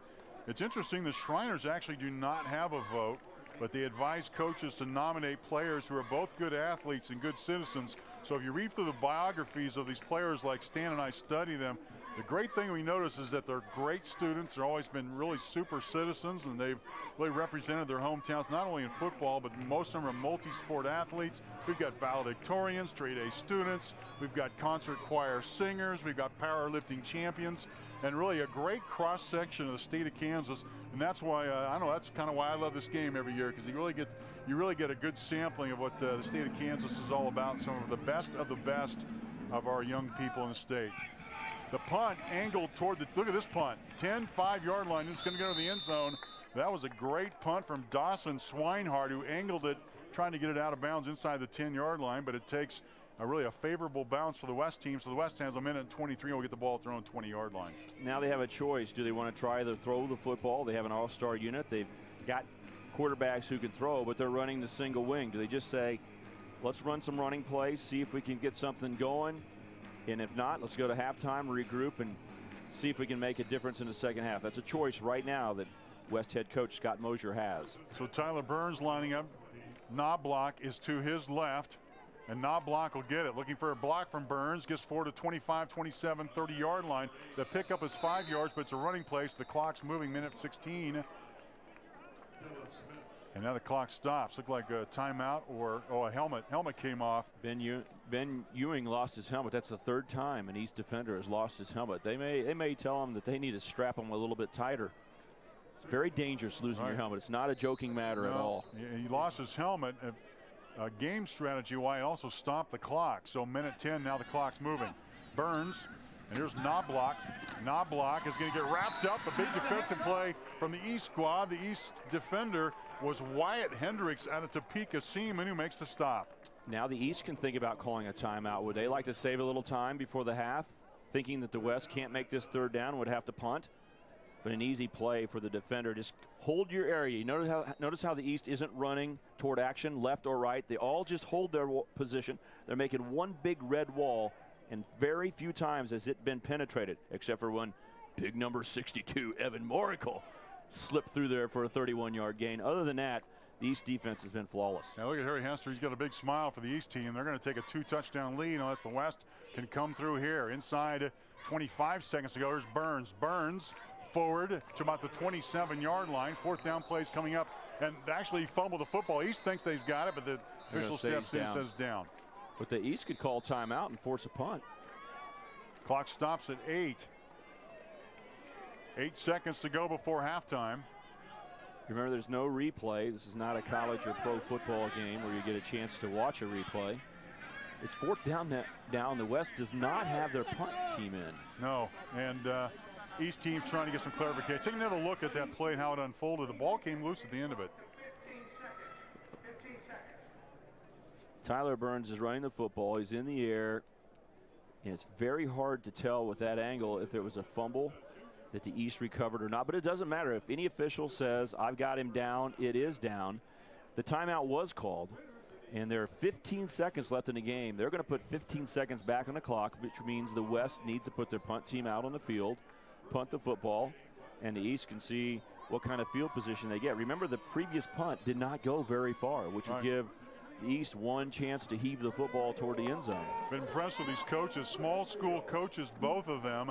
And the points of strategy have been very important for both teams. East has done it better, up 14 to nothing, but the West trying to find a crease when they can have a chance and will probably get an opportunity at halftime to talk about it. You know, one of the things, uh, Scott Mosier, we talked about him as the West head coach, and you talked about being a small school guy, coaching, and we've said how long he's been involved in football. What's really neat about these guys working at a high school, they're not only coaches. Do you realize that Scott Mosier is the principal yes, he is. at Meade? So administratively, he has you know the most important job there, along with teaching young men football. Punt's coming. Tony Barksdale Jr. is back for the East team, trying to chase it down, but it's going to angle. He's going to pick it up. It's going to have a return to the 23-yard line. Gets a block up to the 30-yard line. West makes the stop. Five seconds to go. Clock stops. Five seconds to go, and the West or the East could probably go down to a knee if they want to, but could run a play if they need to. Up 14 to nothing. Five seconds to go before halftime. So coming up here at halftime, we're going to hear from the coach who is ahead. Harry Hester will be on the mic with Katie Falco. And then we are going to hear from the All-Star Shrine Bowl Band.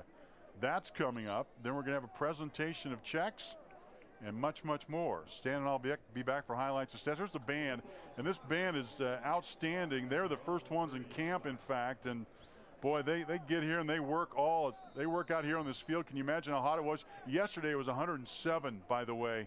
And that wasn't even on the turf here in Hays. So that group's been working and they're about to show off for us, and we're going to see it. This is the rare exception when you can watch a band doing a television telecast, and that's the last play. Taking a knee for the East team is Tristan Spear, and the East team is going to head to their locker room with a two-touchdown lead in the West. 14 nothing. East leads West. And Stan, given the long series that it is, are we surprised by this score at the moment? Yeah, anytime you see this type of separation, I'm a little bit surprised. These two teams seem very even coming in, but the East was very, very focused, getting a chance to be around a team and talking to the coaches. There's no surprise from them how well they've played. Now the West is going to have to pick up their game to get back in the game in the second half. In last year's Shrine Bowl game in Pittsburg, Garden City quarterback Grayson Temple rolled up 247 yards in a 21-6 win. Meanwhile, it's head down to the field. Katie Falco is with Harry Hester. All right, Coach, after that seven-yard touchdown run, you came over to the bench and you said, don't let your foot off the gas, and they haven't done that. What have you seen out of this team, both offensively and defensively? Team's a key word. Uh, these guys are, are playing as a team, so they got me going again. Uh, but uh, they're doing a great job. Uh, we, you know, we missed one down there in the end zone, and just uh, we'll, we'll, get that corrected. Um, these, our defense was lights out. Our defense, you got, I mean, you're shutting these. That, those are some good dudes over there, and we're shutting them down. Um, and they rallied to the ball, and uh, you know, just like we broke it down right there, one team, one family. I am so. I am, and you brought that from Cherryvale. How proud are you of these guys for embracing that motto? Oh my goodness! I told them before the game I couldn't ask for a better Shrine Bowl All-Star team because they're they're truly one team. You know, they they they're not any All-Stars, and uh, you know, they're just and they're playing like it. We are a team. We are East Side, and we got we got uh, you know 24 more minutes, so we're not going to let off the gas. All right, Coach. Thank you so much, and best of luck in the second half. All right, Mark. Back up to you guys. Thanks, Katie. With Harry Hester, an emotional Harry Hester, who was at the 5K run this morning. He's had a long day and a long week. The Shrine Bowl Band of Kansas presents the Kansas Masonic All-State High School Marching Band. They're under the direction of Lane Weaver, band director at Fort Hays State University. Let's listen in.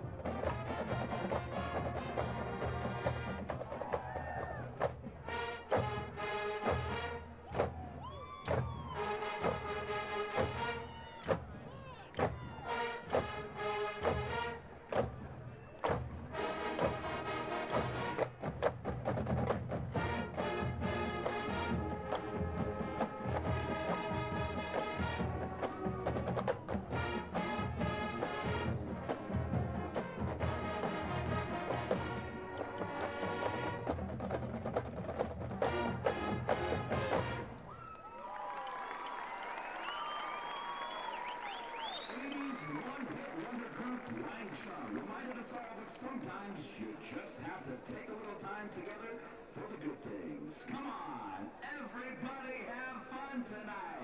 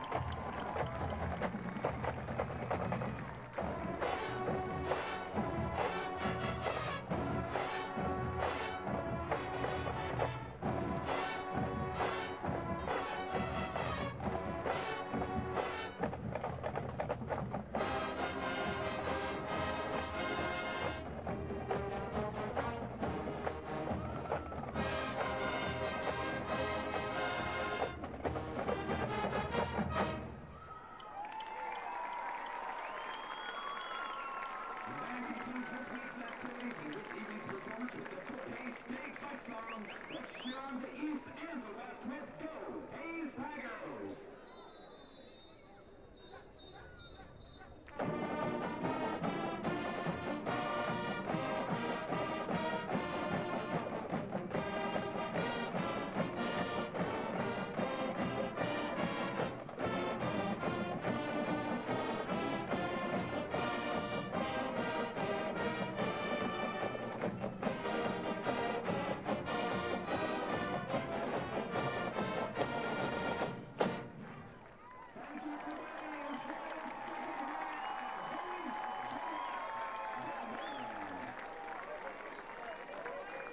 And many of the fans here are giving the Kansas Masonic All-State High School Marching Band a standing ovation. The camp began on Tuesday, led up to tonight's performance. Well done. Meanwhile, on the field, we're at halftime, the 42nd annual Kansas Shrine Bowl from Fort Hays State University on the Cox Channel, Kansas, and the Time Warner Cable Sports Channel. We return to Hays in a moment. So, what is love? Love is being independent. Love is dancing. At Shriners Hospital for Children, love is a new smile. At Shriners Hospitals for Children, love is caring for a child regardless of the family's ability to pay. If you know a child that needs help, please call or go online today. Discover the Contour app from Cox. The app takes you to a world of personalized entertainment that can change how you watch TV. If you're a Cox TV and internet customer, it's likely you already have access to the Contour app for free. All you need is an iPad or select Android tablet and you're ready. Watch live TV and on demand shows at home, access TV network apps you can watch anywhere, and so much more. Just download the Contour app and sign in with your Cox primary user ID and password to get started today. Coco Key. I went to a place just like the islands. Every day is a perfect getaway. Play for the day or stay overnight. Daily admission and overnight packages are available. Coco Key is affordable fun for the entire family. Family fun for everyone. Coco Key, water resort. More fun, better value. Coco Key Water Resort. Lewis Toyota is going to have one summer giant used car blowout for 12 days and 12 days only. Prices will be clearly marked in every windshield at huge discounts with our used car blowout prices. All prices to move, savings you can see. No games, no gimmicks, no hassles. Giving you top dollar for your trade. No payments till Labor Day, no money down, and interest rates as low as 1.9%. Our summer giant used car blowout for 12 days and 12 days only at Lewis Toyota. I-470 in Fairlawn and Topeka, right on the corner and always right on the price. The five Shrine Centers of Kansas represent nearly 8,000 Shriners. They put a lot of work into this ball game. At halftime, East leads West by a score of 14 to nothing. They introduced earlier some representatives from the state of Kansas, and what they're doing at the moment, they're representing the, the 15 board members, including uh, the board of director who is Stan Jahay. Those are the five guys from Kansas earlier on Venus, Tim Williams, Ralph Street, Brad Kane, Wayne Wells. Those are the Kansans. And uh, now they're introducing the national folks who are representatives here. While they do that, let's head back down to the field with Katie Falco, the very special guest. Katie, take it away. All right, thank you, Mark. Well, I'm here with Sydney Kendall, and she did the coin toss before you were part of the parade. How exciting was it for you to get to do the coin toss and represent Shriners Hospital? It was really cool to represent Shriners and know that they're playing football to support the hospital for me and help me out, or help all of the patients out, including me. So that's really cool. And tell us a little bit about what Shriners Hospital has done for you and your family. Um, well, when I lost my arm when I was six years old, I came to Shriners right away, and they were just so opening and helpful, and they gave me prosthetics and occupational therapy, and now I, it's like I have two hands, but I have one. And you became a patient ambassador about six years ago. Uh, why did you choose to do that, and how has that helped you? Um, I chose to do that because I know how much Shriners has helped me, and I just want to give back to them and represent them, the hospital. And it hel- it's helped me just, I feel so much more confident in myself, and I'm able to speak in front of so many people, and it's really cool. And you and the patient ambassadors, a lot of you guys have become best friends through this. How much do they all mean to you? Um, they're like my best friends. Like when we were together at the hotel, we all went swimming, and it was so much fun. And I just, I love them so much, and it's really cool to be with them. And tell, can you tell us a little bit about what happened to you in the boating accident? Well, a rope caught around my arm, and a boat was dr- driving this way, and another one was going this way, and my arm just kind of came off. And during the hospital visit, you guys love telling your story and you love inspiring these players. How has Shriners Hospital helped you get that emotional courage to do so? I don't even know. I guess their nursing staff and everyone on the staff just they just are so happy and so confident in themselves. And meeting other people like me who are older have inspired me to do that and to be, yeah, inspiring to others now. All right, Sydney, thank you so much, and uh, we will see you around later in the show. All right, Joe, thank you, or Mark, thank you so much. We'll send it back up to you.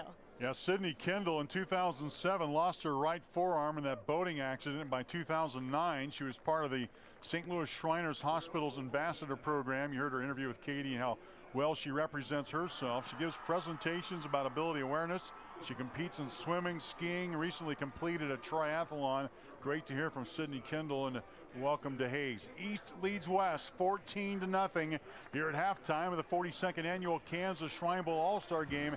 Introductions continue. We're going to take a break here. You're watching the ball game on Cox Channel Kansas and the Time Warner Cable Sports Channel. So, what is love? Love is being independent. Love is dancing. At Shriners Hospital for Children, love is a new smile. At Shriners Hospitals for Children, love is caring for a child regardless of the family's ability to pay. If you know a child that needs help, please call or go online today. Summer's almost here, and there's never been a better time to buy a pre-owned vehicle from Mel Hambelton Ford. Right now, we've got a great selection of vehicles priced under $12,000.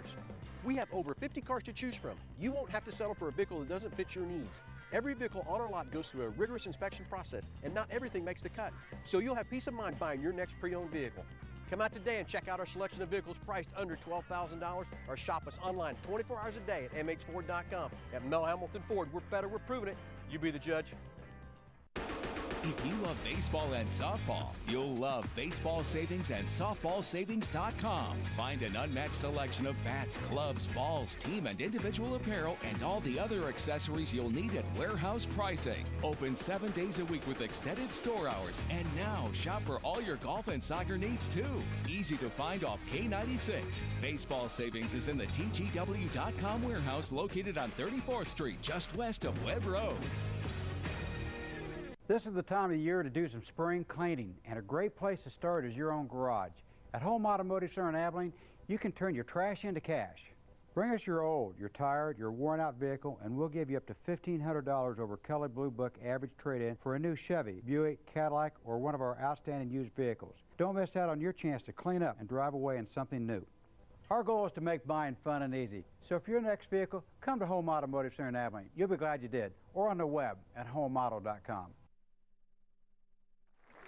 Well, both the East and West are in their respective locker rooms talking about their strategy for the second half. Halftime activities, meanwhile, in the field continue as the East leads the West here 14 to nothing. On the at the moment, the corporate sponsors of this Kansas Shrine Bowl are being honored. The mock-up checks you're seeing represent cash contributions, gifts in kind, and expense payments.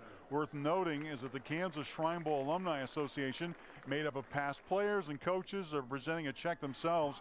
And meanwhile, your cable company here, Cox Communications, has contributed the cost of television production to provide this event to a statewide viewing audience on board the 90, now almost 100 cities served by Cox Communications and the Time Warner Sports Channel viewing audience that is on hand in Kansas City. Among the sponsors, Sugar Creek of Pittsburg, they sponsored the coin flip sponsorship. Blue Cross Blue Shield of Kansas, a check representing their health and safety sponsorship. Walmart's from across the state of Kansas working together to provide the Kansas Shrine Bowl with donations. This year, also another sponsor for another year. Farm Bureau Financial Services presented a check with their sponsorship, and representatives of each company are presenting the check to members of the, the Shriners who are on hand. Jock's Nitch for their Cheer and Walk for Love sponsorship. That was the 5K race and one mile walk this morning that happened at 8 in the morning. Cox Communications, I've mentioned them, their check for the jersey and ticket sponsorship. Kansas Shrine Bowl Alumni Association, those past players and coaches, they get together. They're proud of certainly their association with all the things that the Kansas Shrine Bowl has done and what the Shriners have done with the money that is raised there on hand. The city of Hays has been unbelievable as well as you see that check for 25 grand. Very well. City of Hays has done a great job. They host the sponsorship. Many members were involved in that. And uh, several of the hospital patients that you saw in the earlier piece today, if you're just joining us, Katie Falco did a story about the hospital patients' visit to the players here, and the young man who's on the field at the moment was one of them. That was really uh, heart-rending. Best Western Hotel Owners of Kansas, they presented a check for their scoreboard sponsorship. Watco Companies, proud of their banquet sponsorship. Last night they served 1,500 athletes, coaches, fans, Shriners from across the state of Kansas. It's unbelievable. They do 1,500 in a buffet in about 15 minutes. It's uh, really well orchestrated. They've done it every year. And the Midian Shrine Touchdown is presenting a check for the cash proceeds from their golf tournament and uh, contributions of their sponsors. The golf tournament was this morning. So guys in the green jacket get the checks and about 50 to 75,000, almost 100,000 of that money will go to the Kansas Shrine Bowl hospitals, the 22 hospitals across North America for services of patients that you, many of you have seen tonight. We're going to take a break here. Our halftime will continue. 14 nothing. East leads West. We're getting closer to getting down to business for the second half. That's on the way. Stan Weber and I return. We'll take a look at your first half highlights and your stats. That's coming up. Live from Hays. Love is being independent. Love is dancing. At Shriners Hospital for Children, love is a new smile. At Shriners Hospitals for Children, love is caring for a child regardless of the family's ability to pay. If you know a child that needs help, please call or go online today. Hi guys, I'm Jessica and this is Nate and we're You Build It Wichita. Our customers have given us an A plus satisfaction rating. Why don't you come down and be one of our satisfied customers today?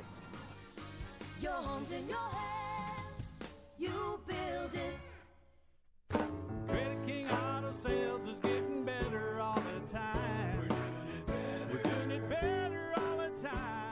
King Auto Sales at the Kings Corner, 31st South and Broadway, Wichita, is Kansas' largest buy here, pay here dealer. The best selection, priced from 3,000 to 30,000. When the banks and new car lots tell you no, the King can help. Bad credit, no credit, no problem. Credit King Autos. See us at gocreditking.com.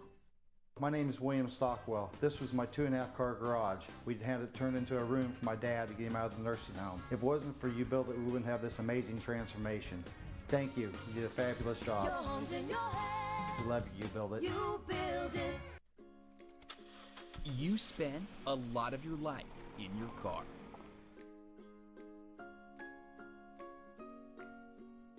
At Quest, we don't think you should have to spend a lot of your life paying for that car.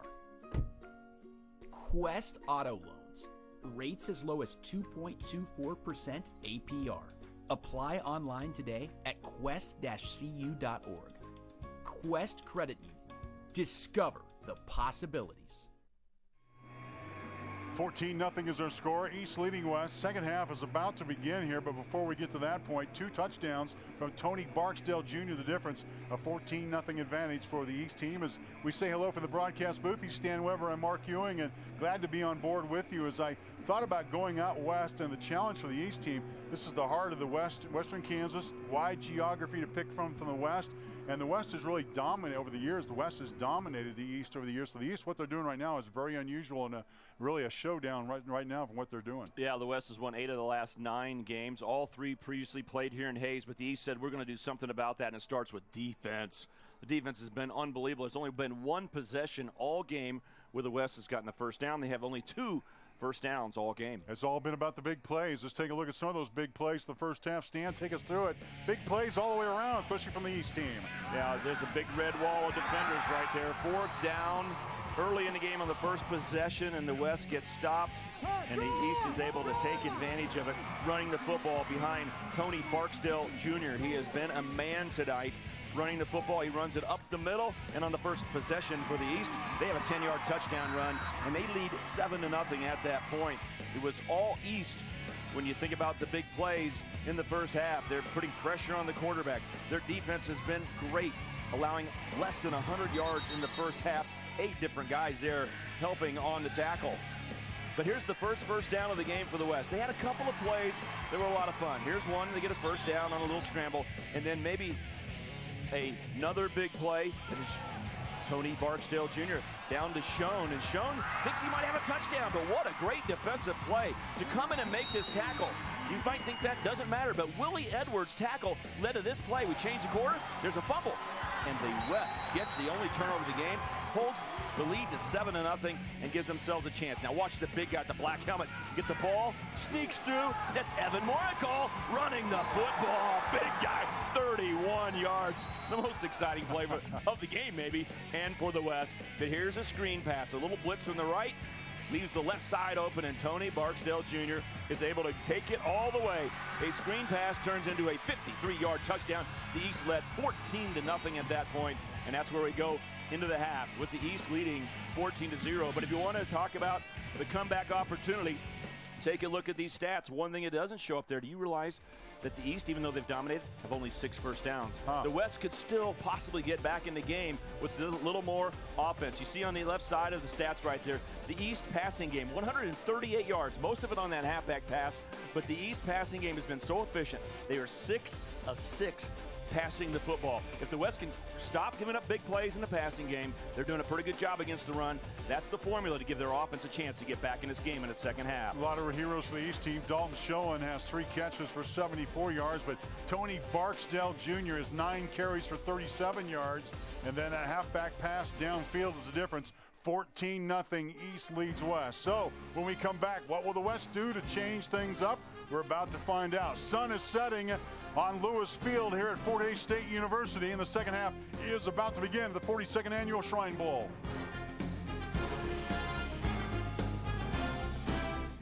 So, what is love? Love is being independent.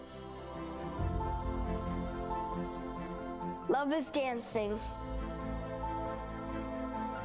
At Shriners Hospital for Children, love is a new smile. At Shriners Hospitals for Children, love is caring for a child regardless of the family's ability to pay. If you know a child that needs help, please call or go online today. It's Ram commercial truck season here at Zeller Motor Company and it's time to get to work. Come check out our selection of 2015 Ram 2500 and 3500 heavy duty and cabin chassis trucks. Whether it's the durable 6.7 liter Cummins diesel or the legendary 6.4 liter Hemi, we've got the truck for you.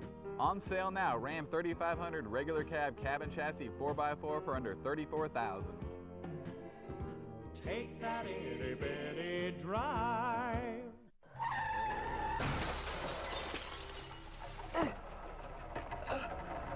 Attorney Gary Patterson, helping you is what we do. Oh my. I'm with the insurance company, and we need you to sign right here, right now. Insurance? Talk to my lawyer. Not again. wow, what a great app. It's the best phone call you can make. Call 687-2400.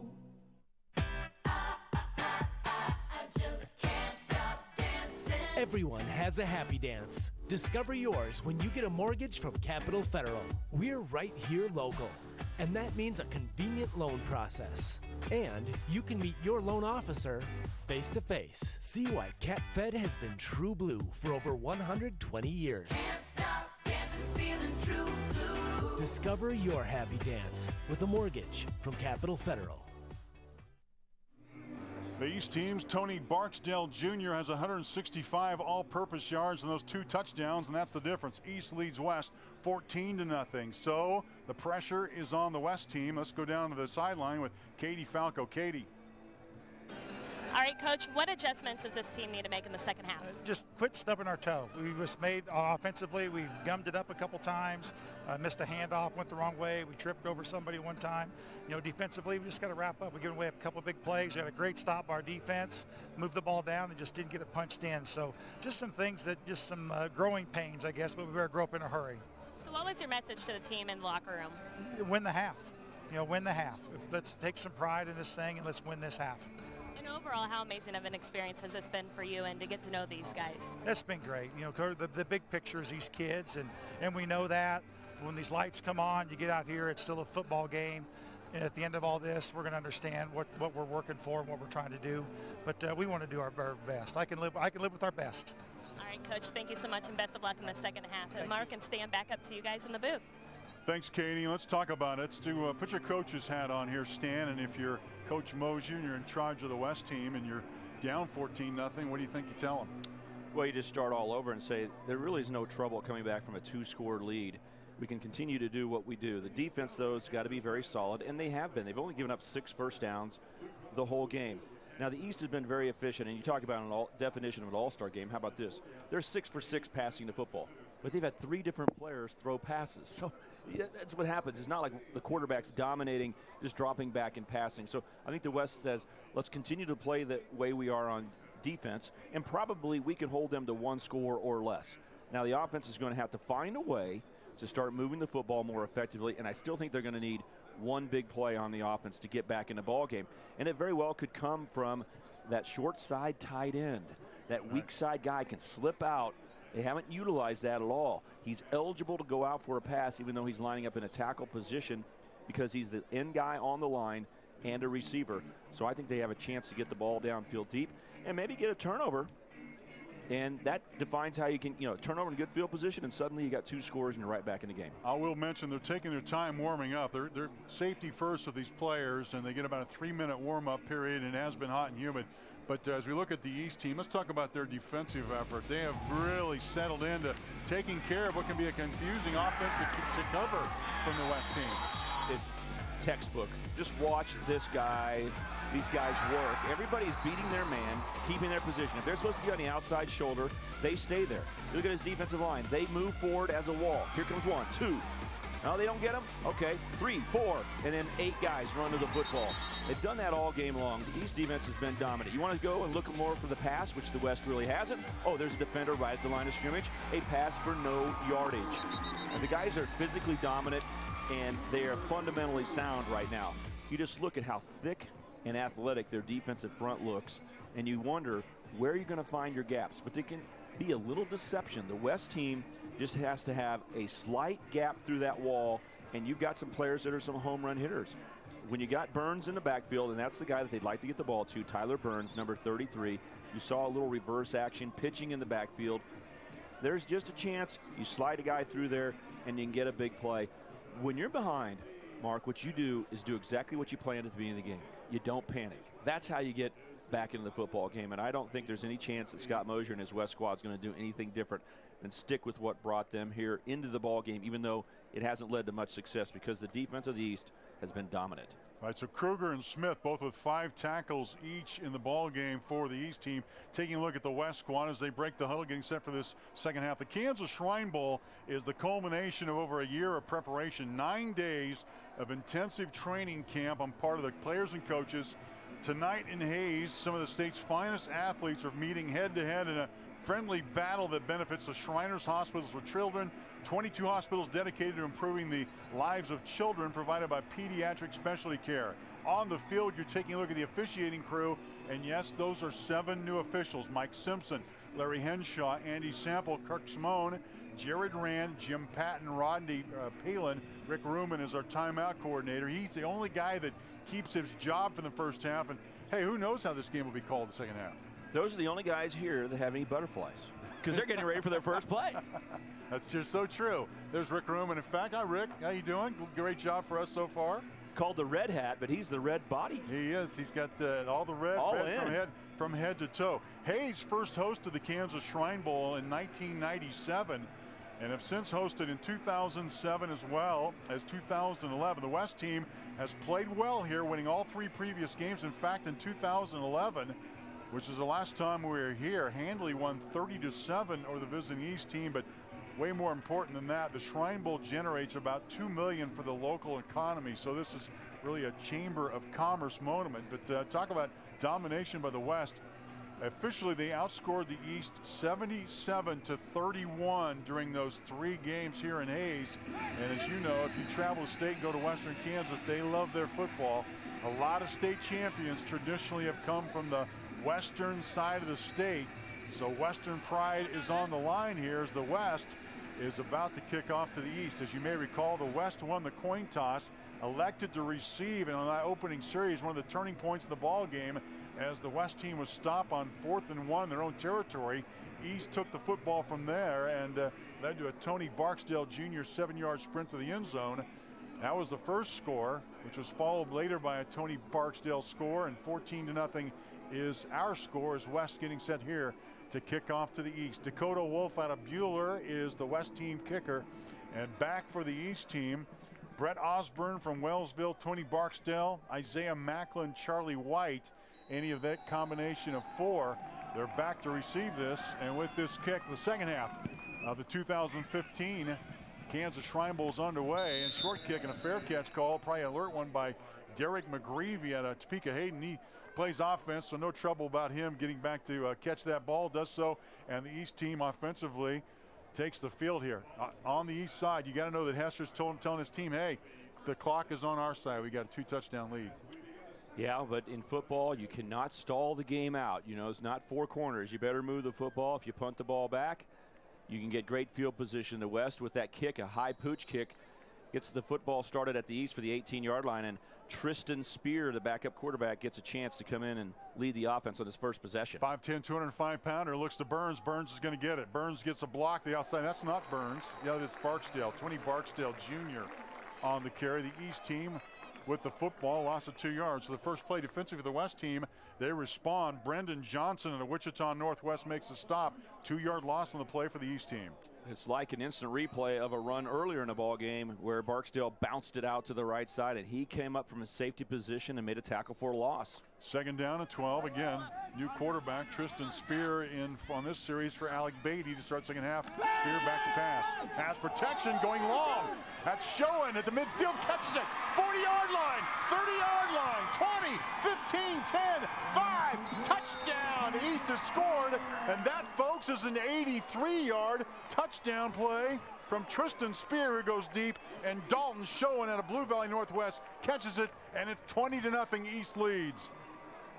Wow, what a throw. We talked about a young man in Tristan Spear from Troy, a 2A school that is as good as a defensive tackle as he is quarterback. But you see the strength and the perfect spiral. That ball turned over in the air, yet the coverage looked like it was pretty good. But Dalton Schoen was able to concentrate, even with the defender near him, catch the football and fly down the field.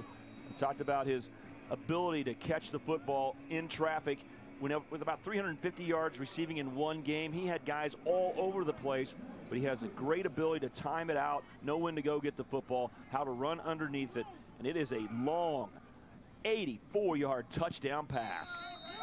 Extra point is up. It's good. 21 nothing. East leads West in the Kansas Shrine Bowl. What a home run pass that was. Just a fly pattern and a big, big quarterback while getting hit fires the ball all the way down field and just out in front of Sean Newlick is Dalton Schoen. Look at this throw and then watch Schoen kept running and the defender just looked up for a quick second, lost a little bit of momentum, and that was enough to get a couple of yards of separation. And Dalton Schoen has a touchdown reception. Remember, he had the big one where he's caught at the two. He was not going to be caught this time. He gets a touchdown, and his brother will be proud. His brother Mason plays basketball for Bruce Weber on Kansas State's basketball team. Well, 21 nothing. East comes out. West needed to stop, needed to get the football back. Instead, Harry Hester's guys come out with two plays, 82 yards. It is 84 yards on the touchdown reception. There was a big one last year in the All-Star game that broke the previous record. I'm trying to look that up. Maybe I'll get that to you in a moment. But uh, 21 nothing now East kicking off to West. And now the deficit for the West team is three touchdowns. Return coming 30 yard line, 34 yard line. Now the return from the West, Chaden Carter out of Augusta. And they'll put the West in pretty good shape. You know, special teams can turn this thing around for the West squad. And I was about to say if they could have a big punt return here or kickoff return, that might turn the table a little bit. But so far, the East has been solid offensively, defensively, and special teams. All three parts really working for the East right now. We talked about the East and getting big plays. The West defense has been sound down after down, except for they've allowed the big passing plays. Now the East is seven for seven passing the football. Getting the snap for the West team, that's Hunter Knobloch. Knobloch moves forward for about five yards, moving from the 34 yard line up to about the 39 yard line. And Knobloch now really effectively the signal caller, though in this offense, the quarterback is called a tailback. Two fullbacks, a wingback, split receiver, fullback up front. Here's Knobloch who's got it, 40 yard line. And look at the East team making a stop again. Knobloch did a great job to get away from the would be tackler, pick up about four yards. But the East team saw that play coming. They did, but he broke a couple of tackles, which gave them the chance to get to third and one. And I think now the West will be going for fourth down. They did it in the first possession of the game. Maybe that was a mistake or it did not work out that. well. Now down by 21 nothing. I think you're going to have to do it. But to answer your question, Mark, there was a pass one yard longer in Shrine Bowl history, an 85 yard touchdown pass. So this was not a Not record, record. long, but, but the East doesn't care. No, they don't. 21 nothing, and here's Burns. Burns trying to get to the 35 yard line. First mark looks like the West is going to have it. First down at the 45 yard line. And that will be a first down. Let's go down to Katie Falco once again. Katie. All right, Jeff, I'm here with Jeff Souter. Uh, he's an Imperial officer for the Shriners Hospital. Tell us a little bit about how you got involved. Well, I've been a Mason since I was 19 years old and then got involved with the Shrine in Wichita. And once you see the special kids that we take care of and everything that goes on with making their lives better, it's pretty hard to get hooked pretty quick. And that's kind of what happened to me a long time ago. Let's talk a lot about these uh, patients. I was talking to you a little bit ago, and you said that they never have a bad day. No, I'm so fortunate. I, we have 22 hospitals, and we get the opportunity to go to a lot of the hospitals and see the kids. They come in for treatment. They love coming to our hospitals because they know it's, they get to see their favorite doctor, their favorite nurse, and they're going to get great care there and go home better. And we're so fortunate to get to be work with these kids every day. And how proud are you of this event and the players and the cheerleaders or the band members and what they take away from this experience? Well, the Kansas Shrine Bowl is the big event in Kansas where we get awareness for what goes on with not only the fraternal side of the shrine, but also Shriners Hospitals for Children. And when you're out here and you see all these great young athletes, and whether a cheerleader, a band member, or uh, on the football team, it's well worth everything. They're great kids. All right, Jeff, thank you so much. Thanks we appreciate your time. Thanks for having us. Jeff Souter, the Imperial officer. Good to hear from him. Meanwhile, a catch was made by Sloan Baker, which moved the chains forward for first down. He's that short side tight end. I said they need to get the football to him. He's from a pretty athletic family. Do you understand that his brother Ron is the Wichita State basketball player? Yes, I do. In fact, uh, Ron's playing in the Pan Am games right now, representing the United States. And uh, How about the parents there? Uh, gosh, Shrine Bowl's a big deal. I can't, but, the Pan Am uh, games are a big deal. How can they be at two places at once? Yeah, his parents are Renee and Neil Baker. His sister Audrey. There's this call is coming back. West had uh, just had a holding call. It's going to bring it back, but Sloan Baker had the catch to move the chains forward, and Sloan Baker looks a lot like his brother Ron. Had 108 tackles defensively with four interceptions coming in, playing offense as tight end for the West team. Sloan Baker from Scott Community, a 3A school, is a pretty good football player. His brother's a pretty good basketball player. Well, guess what? He's going to go to college at Butler County to play baseball. I guess they can play every sport. they really can. And Scott Community's been such a great uh, community over the years, in recent years. In fact, one year won football, basketball, wrestling, I think track. Here's Holden, kept Howe looking for a receiver. Had one for a moment, and the catch is made. 15-yard line on a long first down play, and it's going to be a first down. The West team, without a doubt, just put together their biggest highlight of the ball game. And what a pass and a catch downfield. The catch was made by Lane Bieberly out of Central Plains, and he's an eight-man player. 28 yard pass reception, and watch Bieberly go to work. Comes inside, busts it out, says I'm open, but continues to run, and what a nice catch. Good concentration. Two defenders squeeze him, but he makes a perfect fingertip catch, and the West is down inside the 15, the deepest penetration of the game. There's Burns, 14 yard line, 10 yard line. Moves forward, still on his feet, seven yard line. Pickup of seven yards on first down on a direct snap. Nice blocking up front by that offensive line for the West squad. Burns made it look easy for him. Ball is pushed to the seven yard line. Well, that's what they need is a little momentum. One great catch. And Stan, they're getting to the line of scrimmage a lot quicker than they were in the first half. Yeah, they're not a no huddle system, so they are huddling up. Be hard for them to change from that, but they can get in and out of the huddle quickly. Second down, ball at the seven. First down marker, rest of the four. Here's Knobloch. Five yard line, tried to reach forward, was really patient about it, and then a flag flies at the end of it. There was a lot of contact on the end of it. Wyatt Hendricks among the East players on the tackle, and at the end of that tackle, the flags flew. Well, there's a, could be another holding call against the West. And remember, you mentioned it at the half new officials. And like a baseball umpire creating a strike zone, the umpire near the offensive lineman determines what the game's going to be called, what's going to be holding and what's not. And the offensive lineman and defensive lineman, linebackers, they all get used to it and they understand. But now they've been set in a certain way of how they play in the first half, and there weren't any holding calls. And now all of a sudden, in the second half, you got a new guy evaluating. It's like putting an umpire in midway through a baseball game and starting to call the pitches. You know, there'd be a few batters and pitchers and catchers upset with strikes and ball calls. But this time, there's a penalty thrown. There's been a lot more penalty flags here early in the second half than there were in the whole first half. See the reaction of the east sideline. The ball is rest at the seven yard line. And uh, all appearances looks like it's going to be on the East squad, but though the officials are about to mark it off, Mike Simpson is the referee on this second half East team. Meanwhile, on the West squad, maybe a chop block type of situation. Defenders cannot dive into the knee or lower uh, to, to chop into an offensive player. Dangerous play. Offense, 10 yards, spot of the foul. Then ball, personal foul, defense, half the distance to the goal, the down. Yeah, the holding call again. The West squad being called for holding, and the offensive line just need to get used to how this umpire is going to call the game in a second half. Second down and five, ball at the nine-yard line, inside, close to the five-yard line. It looks like the ball popped loose. East thinks they've got the football, and they do. It's East football. West fumbles inside the 10-yard line. The East team defensively comes up with it. Looks like Charlie White out of Shawnee Mission East comes up with the football for the East team. The West finally gets into scoring territory, their first time entering the red zone. But we've seen tonight Tyler Burns has lost the football two other times, but they said he was down before the ball came loose. He fumbles the ball again. It squirts off to the side. This time it's called a fumble, and Charlie White recovers the fumble. First down and 10, the East team from their own six yard line, up 21 to nothing. This give. Looks like uh, Beatty's going to keep it. 10 yard line, moves forward to 13. He's pretty fast, Beatty. And uh, boy, can you imagine how effective he's going to be?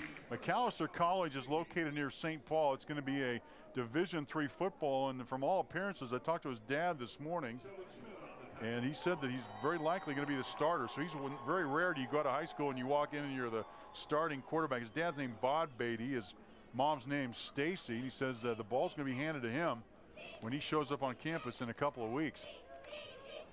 There's Beatty, 15 yard line, moves forward. First down mark rest at the 16, and it looks like Beatty got just beyond that, so it appears the East team will pick up a first down. Look at the center right there. You get a chance here to see Blake Richmeyer come off, and he's played a great football game. But the center for the East is number 34, Jake Rainier. That's right, number 34. Not a big 60 number. He is a big, he's the biggest number 34 I've seen in a long time since Craig Heyward of the New Orleans Saints. Well, he's stretching that jersey out a little bit. First down and 10, ball at the 17 yard line. And there's Beatty, scrambles out of trouble. Now rolling and does the wise thing. He throws the ball out of bounds, but he was hit right near the sideline. The whistle blows, and so does the flag. And this is going to be a penalty on the West team. Beatty, meanwhile, gets up, smiles. He's not hurt. But uh, this foul is going to go on the West team. Roughing the passer, they're saying that Beatty was hit late. He was just scrambling out, trying to throw the ball away, incomplete, and the West makes a mistake. There's a rollout from Beatty. He was uh, under pressure from Sheldon Schmidt, the 6'4", 230 pounder out of La Crosse who's going to play at Fort Hays State. I wouldn't really criticized Sheldon Schmidt on, Schmidt on that play. I mean, he, it was so close to him. It was. And uh, he, like his teammates, stand trying to make a play for the West team. He, you start to press a little bit. You're down three touchdowns. You think you're capable of making a play, maybe single-handedly making a big one to give your team a little momentum. That's probably the case there. I mean, I don't think he got his helmet to helmet or anything like that. That was a very close call. Ball at the 32. This pass caught by Dawson Swinehart from Lyndon. He's been called as the team's punter and kicker and guess what? He can play wide receiver as well. He wants to be a local volunteer firefighter, does Dawson Swinehart. That's what he does when he's not playing football, and uh, certainly follows in the footsteps of another uh, guy from Lyndon that you'll be familiar with, Nick Walsh. This Nick Walsh is his idol. Punter. Punter out of uh, K-State punter. Second down and seven. Ball at the 35-yard line. Three receivers to the near side for the East team, who's already got one first down on this drive. This time, this is Barksdale. Barksdale hasn't had the football for at least the second half. Haven't needed him. 41-yard line. Pickup of about five yards. Going to be a short third down situation. You can see why the East is running the football. Look at the center to the right side of the line. Notice some big old boys have Yep. done a nice job of powering off the line of scrimmage all night Yeah. long. Uh, worth mentioning, four all-state first teamers on the offensive line for the East squad. Here's Barksdale. Barksdale moves forward, moves the defensive line forward to the West team. Backwards a couple of steps, out to the 44-yard line. First down and 10 for the East squad. Look at the East. They're quickly back to the line of scrimmage. They want to add on to this three-touchdown lead. Big number 77 at right guard is Joey Farron. And right tackle is Charles Mayfield. Three receiver set, near side. Beatty is the quarterback, single receiver far side. First down and 10, 44 yard line. They give us to the back.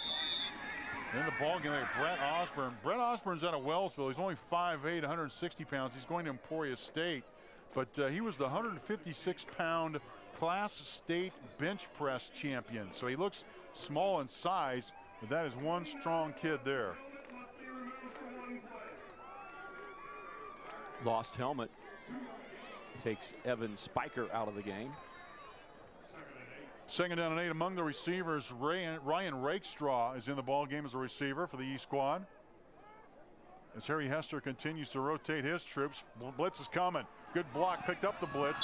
Past the outside was Dawson Swinehart. Got away from him, but the West was bringing some pursuit that time. They brought the blitz, and the protection was there. Stop the presses. That is officially an incomplete pass.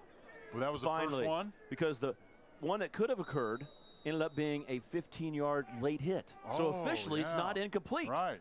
That is our first incompletion by the East. The coaches are wondering, what? We're used to getting about 30 yards every pass play on average. Yeah, 625, third quarter, mark it down. The East has thrown their first incomplete pass of the ball game. Still with a spread look. This is an empty house backfield. Five receivers for the East team. West is showing blitz, and they just drew him off sides. Again, Harry Hester says, let's do a double count there. They draw the West off sides, and it looks like it's going to be a free five yards. And you may wonder, looking at the replay, that the offense didn't appear to move at all. So let's watch this play. Watch the replay. Number 87, right there, Braden Burlow, Burlew steps into the neutral zone. That's a penalty in high school football. In college of the pros, the offense would have had to react to get a penalty, or if the defense would have come back to Oh, their yeah. onside, you could still continue on with a snap count. But in high school, it's all over. You get in in that neutral zone, five-yard penalty. Great, uh, great call there. That's an interesting point. Third down and three for the East team. 21 nothing is our score. East team is ready to snap the football. Quarterback has been Alec Beatty this series, though the second half, the East team started with Tristan Spear, and all he did was throw that long touchdown pass. But remember the goal line? They put in number 15, Levi Wyrick. This man's going to go to Pitt State as a quarterback. He's in right now. I think. And as a track athlete, they had him as their short yardage specialist. So he's Right. in. Remember, they snapped the ball at the goal Right. line. He tried to run straight ahead, but it, the ball went slightly above his head and through his hands. So Levi Wyrick, who's a two-time state discus champion, when he's not playing quarterback, gets gets the ball and moves forward for about three yards. He's going to be short of the first down marker. The mark as I sh- show it, and it's right along the line from our press box. So I got a great look at it. It's about a half yard short, which is going to bring up fourth down. But hey, the East is back on it. They're going to go for it. Will they go fast? Or try to pull the West off sides That here. means it's another quarterback sneak if they go quick. There's Wyrick under center. Fourth down. Wyrick has it. Boy, he had to go to the turf. First down. Did he not drop that on the turf? Wyrick, who had that fumble early on, or the snap was over his head, is what it was, but but uh, he kind of bobbled that for a second. Still ends up getting the first down. Yeah, he had to control the football, which meant the delay allowed him to look where the hole was. What a compliment to the East defensive line, East offensive line, that they're able to give him that much time untouched. He stood there for a second, almost like it's a quarterback draw, and said, oh, "Okay, I'll just run over here to the left," and makes an easy quarterback sneak run. First down and 10. Third first down for the East team. Give to the tailback. And here's another running back, Derek McGreevy, who's been the team's linebacker in the ball game. Baseball and football is what Derek McGreevy is going to do next year at Washburn University. But as a football and basketball player, he was a first team All State pick in both sports. So McGreevy running the football and uh, Levi Wyrick at quarterback. East up three touchdowns and moving the football in this series. His brother, TJ, played in the 2009 Shrine Bowl. So Huh. he's going to be able to tell his brother, hey, I ran the football and played linebacker. Second down. We'll call it seven. Ball at the 42 yard line. Now Wyrick this time moves forward to the 40 yard line, pick up of a couple of yards. So McGreevy's in the ball game. Taylor Watkins out of Columbus, who uh, really is a backup linebacker, is in playing offense for the East team. And uh, Tony Barksdale Jr. just replaced him. But the East team is kind of rotating it around, letting some guys play. Up three touchdowns, which is, you know, you got 34 guys on a side. They're all uh, mostly two-way players in high school. Look at the whole East lineup if you can, real quickly. Scan your eyes. Are there any guys who aren't thick and strong? Well, they really are. They're, that is a really good-looking team. Here's Wyrick. Wyrick needs to get to the 35. He's met at the 40 and pulled down. What a play by Dakota Wolf of Buhler. The linebacker who's headed to Hutchinson Community College next year makes the play at the 40-yard line to bring up a fourth down play. Uh, worth mentioning on your point, Stan, about the, the East team. The East lost a lot of players, players who were originally selected. In my discussions with uh, Coach Hester this morning, he thought he had lost off his list at least 11 players. And then this week, uh, two of the players we thought were going to be in camp ended up not in camp. And so we ended up replacing those. I mean, you got to admire the, considering all that, the coaching job that that East squad has done. Well, they've done a great job, and I think the key is is how they've got the football team to come together, and that's the biggest goal I think for Shrine Bowl coaches. The the highest definition of the likelihood of winning is did we get our team to play as a team rather than a group of all stars? And the East has been preaching that all week long that they have bought in. And I don't know who made the selection originally or who made the substitute selections, but they obviously had a plan. Let's get the thickest boys we can find. Because yeah, there's a quarterback out there in Alex Alec Beatty, who is a smaller, athletic, outside looking guy. But most of these guys, look how wide they are. Yeah, that's- They're uh, wide shouldered, thick players. It's a physicality that the East has brought to this ball game. And which is uh, what the West has been known for forever, at least in the last uh, decade. Let's talk about that selection process a little bit for the Shrine Bowl. The nomination list of players is 400 to 500 seniors. It's sent to the media selection committee, consisting of about 60 to 70 media personnel, including all the daily print media, the selected electronic media from radio and TV, the selected larger area weekly newspapers. Although the voters select 22 players, including two players from schools that play eight-man football. The results are tabulated to select the first 22 players for each squad, and then once they got get to that point, the Shrine Bowl coaching staff steps in, plus one assistant coach from each of the five Kansas football classifications. They make sure 6A through 2-1A is represented. Eight-man coaches represent every classification, so it is an extensive process. Uh, and the, the goal is to represent football in the state of Kansas, and they do a great job every year. Fourth down play coming up is fourth down and five. 3.28 to go in the third quarter. Beatty, the quarterback, is back in. 20 Barksdale Jr. behind him. Four receiver set. West needs the football back here. Beatty gives it to Barksdale. Barksdale tries to run out. He's going to be brought down. The West team steps up. Barksdale trying to slip by the front line, but the linebackers are having no part of it. As in on the stop for the West team, Blake Richmeyer, the linebacker, makes the stop, and the West team will take over. Earlier in the game, on a third and very long, they ran a draw, and this time they do it again. Number 30, Blake Richmeyer is there to read the play, strong enough to hold on to the running back. Didn't allow him to bounce off or give him a forearm shiver, and a stop for no gain gives the West the football. So Blake Richmeyer, who's had a nice game for the West squad so far, playing really a football, basketball, and track star at Buhler High School, headed to Butler next year. And the West team will take over. West needs to get a score here if they're going to have a chance here. Clock's moving. 3.10 left here in the third quarter. Tyler Harris among those. Big play by Blake Richmeyer, but the East is still going to be very happy. They used a lot of clock in the third quarter, driving the football down the field. They're the only team to score here in the third quarter. So the West really need to make something happen right away. They drove the football in the red zone, but a turnover cost them, and the clock is running down. So it becomes a critical drive here. Howell on the rollout, trying to pass, and he is surrounded by East players. And down the stop for the East, Ned Bingaman out of Shawnee Mission South, the son of Molly and Dan Bingaman, got to the quarterback after uh, just very little time and uh, makes the sack. Big number 74 might have been the one to make first contact, but there is all kinds of pressure on the roll to the right, getting upfield. The defender was right in his face, turned him inside, and there is a group of guys led by Bingaman, another player, number 74, that's going to Pitt State. Third down, 15. West needs a play here. West converted on a really long play, just our last series, but was unable to score. We'll have to come up with a similar play here. Howe looking for a screen play, and the East has it sniffed out. East is going to make the play on the play. Thatcher Horak, the cornerback out of Rossville, on the stop and hand it to the East team. They were not fooled again. Trying to get a little misdirection and get a screen to the left, but everyone is staying in their area for the East. They're believing in every other player, and this time it's Thatcher Horak. Horak was on the right side, just stayed tight. When the play came his way, he made a tackle in his last football game. That will be a play he remembers. He's going to Washburn to play baseball. West going to punt this one away under pressure. Nice punt.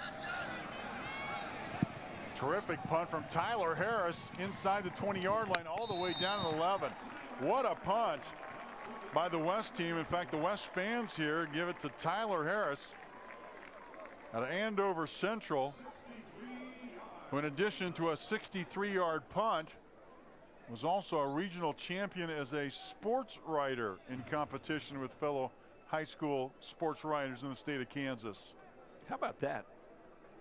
Sports writing championships. There, I didn't know they had that. Me either. How But fun would that be? That would be great. Love to compete in that. But he is a champion in that, and nice punt. East team, meanwhile, takes over. One minute, 12 seconds to go in the third quarter, 21 nothing. It was 14 nothing at halftime. Both of those touchdowns came from Tony Barksdale Jr., and the East team added a touchdown on a long play and a long catch from Dalton Schoen. There's Beatty back to the 10 yard line. Line of scrimmage at the 11. It's going to be a one yard loss. West team makes a nice play in there. Well, the West defense has got to help out the offense. Either need to stuff them right here, force a punt, and give their offense great field position to take advantage of that 63 yard punt, or get a turnover right here, get a very short field. A quick touchdown would put them right back in the game. Got Carlos Taylor in on the play for the West team. Second down and 11. East has been in a hurry to get to the line of scrimmage this time. Um, patient. Here's Barksdale Jr. makes a nice move. 15 yard, or the 10 yard line up to the 12. He was wrapped up from behind. In on the stop for the West team. Looks like Blake Richmeyer once again. Great ball security. That could have easily been a fumble. When you watch football plays, when the first guy makes contact with the running back, like Tony Barksdale Jr., and then the second guy that he doesn't see hits him hard at the same time from behind, that's often when you see a fumble occur. That was a hard blow by two different guys. You see, he is slow right now and doesn't seem to be lining up in formation. Third down play, third and eight for the East team. And there's the end of the quarter. East team comes out, first scrimmage, first uh, series in the third quarter, opens up with a long touchdown play and takes a 21 0 lead. You're watching the 42nd annual Kansas Shrine Bowl from Fort Hays State University. Return in a moment. So, what is love? Love is being independent. Love is dancing. At Shriners Hospital for Children, love is a new smile. At Shriners Hospitals for Children, love is caring for a child regardless of the family's ability to pay. If you know a child that needs help, please call or go online today. Summer's almost here, and there's never been a better time to buy a pre-owned vehicle from Mel Hamilton Ford. Right now, we've got a great selection of vehicles priced under $12,000. We have over 50 cars to choose from. You won't have to settle for a vehicle that doesn't fit your needs. Every vehicle on our lot goes through a rigorous inspection process, and not everything makes the cut. So you'll have peace of mind buying your next pre-owned vehicle. Come out today and check out our selection of vehicles priced under $12,000 or shop us online 24 hours a day at mhford.com. At Mel Hamilton Ford, we're better, we're proving it. You be the judge. Watching TV the way you want all starts with having the right connections Cox High Speed Internet and Cox TV.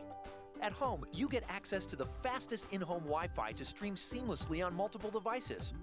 Away from home, you can access more than 300,000 Wi Fi hotspots, so you can watch a variety of TV shows online or by downloading your favorite TV network apps. Learn how with the Cox Discover More video series at cox.com/learn.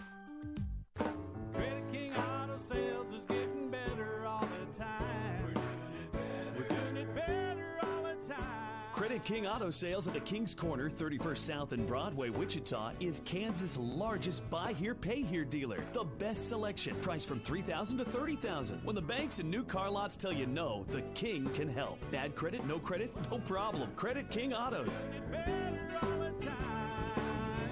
See us at gocreditking.com. Well, nothing more beautiful than a sunset in western Kansas. The sun is setting on Hays, but is it the setting on the West team? West team trying to rise to the occasion. Meanwhile, East squad, third down and eight on their own 12 yard line, up three touchdowns on the West squad, trying to pull what would be their first victory in Hays in three previous tries here, up three touchdowns. Beatty, the quarterback for the East team, has carried the lion's share of the damage, and that pass is complete. Caught. First down for the East team, and running that pattern to perfection. Dalton Schoen the wide receiver out of Blue Valley Northwest comes through once again. Good comeback route by Schoen and a perfect throw by Alec Beatty. Beatty has the protection, fires the ball outside away from the linebacker. You see number one sitting there in a position thinking he might get an interception, but the ball was thrown away from him and a nice catch on the sideline by Dalton Schoen, who has five receptions for 170 yards. Boy, Beatty showing what composure he has. He's played a lot at quarterback for Topeka High School, a three-year starter on a Trojans team that ended up holding a share of the Centennial League three years running. And here's Beatty inside. He's going to keep it. Moves forward to the 30-yard line, tripped up at about the 31-yard line. And the East can afford to run the football and let the clock move, and they've been very effective at it so far. Worth noting through the first three quarters, both teams had 31 rushing carries apiece. East has 74 yards, West 78. The difference is the big plays by the East passing game. The West just has not had those tonight. Second down here, ball is at the 30 yard line for Beatty and Barksdale, the Topeka tandem, which has really ruled the night here in Hays, Kansas. On a second down and five is Beatty, play action, looking downfield, has Schoen, and the pass is going to be knocked down, nearly intercepted that time. West did a nice job, saw it coming, and in fact, downfield, number 27 defending, that's Dalton Goodwin. He's out of Abilene, made a nice play. He's headed to Bethany College where he'll play next year, and Dalton Goodwin, he did the job. He saw Schoen coming, didn't get him, let him get behind him. He made a nice read, almost pulled that interception in. Notice he's wearing 27, which uh, certainly follows because his idol is NFL Packer Jordy Nelson, wears 87, but wore 27 in college. Isn't Jordy Nelson a relative of yours? He is. I, I always brag about him, but he never brags I about me. I thought you were the most famous guy in your family, but I want to say no, far, not far any longer. distant, far no, not even not even close. Third down and three for the East team. Ball at the 30 yard. We'll call it third down and four. 11-10 to go in the ball game. 21 nothing East. Play action. Pass caught. 35 yard line and tripped up. Pass caught by Brett Osborne. Osborne, normally a running back, comes out of the backfield, makes the play, and the guy who played Wellsville baseball catches the pass and a first down for the East. Nice throw right at the first down marker and a catch behind him. What a nice job of reaching back to make that catch and pull it in for the first down. Boy, Osborne is with any other East team, he'd probably be the starting running back. But with Tony Barksdale Jr., he's kind of had to play a reserve role here. But what he's done has been effective so far. Beatty with Tony Barksdale Jr. behind him. Spread look once again on a first down and 10, 45 yard line. This time Barksdale is stopped. And defensively, that was A.J. Cooper out of Cimarron who makes the play inside. Okay, Mr. Mark Ewing, everyone's yelling at their television right now saying, why doesn't Stan ask him how he's related to Jordy Nelson? Oh, I'm sorry, I'm, I'm, I'm third cousin. Okay. So uh, they tell me that's. Uh, we couldn't let that go. So yeah, People my, wondering, like, so my mom and uh, Jordy's grandfather lived on adjacent farms in Riley, and they are first cousins. So we're third cousins. So you've been up at the Jordy Nelson restaurant. I have been. had. Nelson's Landing, been there, and uh, got to watch him grow up a little bit. And You taught him a lot. I didn't teach him a thing. I can tell you that. Here's uh, Tony Barksdale Jr. dances forward, 40 yard line, still's got it, 41 42 yard line. Tony Barksdale Jr. is going to play football at Butler next year. He's uh, really outstanding, isn't he? And he may play at a Division One school after that. Yeah, he may. You he, know, loo- he looks like he may have the capability of doing that. You got to work hard. to Kansas Junior College colleges are very good. The competition is pretty unreal, and the whole nation, from a Division One perspective, comes around this area to look for the athletes, They try do. to get them to come to their schools. It's not just the local schools that look at a guy like this, and uh, he, if he continues to develop past the excellence that he has now, he'll be playing for a Division One school. I running think back. this this one of those games, the Kansas Shrine Bowl, that uh, we get to look at. You know, I cover a lot of high school football during the year, but I don't see all the kids. I get a chance to. We had got to look at Tony Barksdale Jr. and some football. He's hit hard at the 40-yard line. Again, another stop by A.J. Cooper out of Cimarron. 6'5 defensive end who will play his football at Fort Hays State University. He makes back-to-back defensive plays, and as good as he is an athlete, A.J. Cooper earned a 30 on his ACT score. Talking about a smart kid. and Brendan Johnson there helping out, going to Butler County Junior College, and uh, 30 on ACT. It's pretty darn good. Boy, that is that's really something. And uh, again, That's academic scholarship level, let me tell is- that is something. So. Not a full ride, but there every dollar counts, especially with uh, parents who have kids in school knowing what tuition costs are in college now. That's uh, remarkable. So the East team's going to punt away here. Uh, worth mentioning as we talked about the strength of the East special teams. Boy, Dawson Swinehart has been tremendous. Special. Look at this punt. Back of the 18-yard line is going to return from the West squad. Looks like Willie Edwards. Edwards is tripped up and fumbles the ball out of bounds at the 20-yard line. The West is going to keep it, but downfield again. East handles it defensively. Special teams making the play, and the West has a long ways to go. Down three touchdowns at 21 to nothing. Willie Edwards fortunate that that ball fell out of bounds because he was tripped up, was on the ground. He would not have been able to recover the football. There are no other West players around, so turnover avoided. Willie Edwards is a cornerback, played at Wichita East, who is returning the football for the West. He is going to go to Illinois State to play football. He's getting a chance to play Division One football and at Illinois State. First down and 10 for the West squad, trying to get a little something going. And a pickup of a couple of yards inside eight minutes to go. West trails the East by three touchdowns. And as Stan mentioned, hasn't been able to get the passing game going.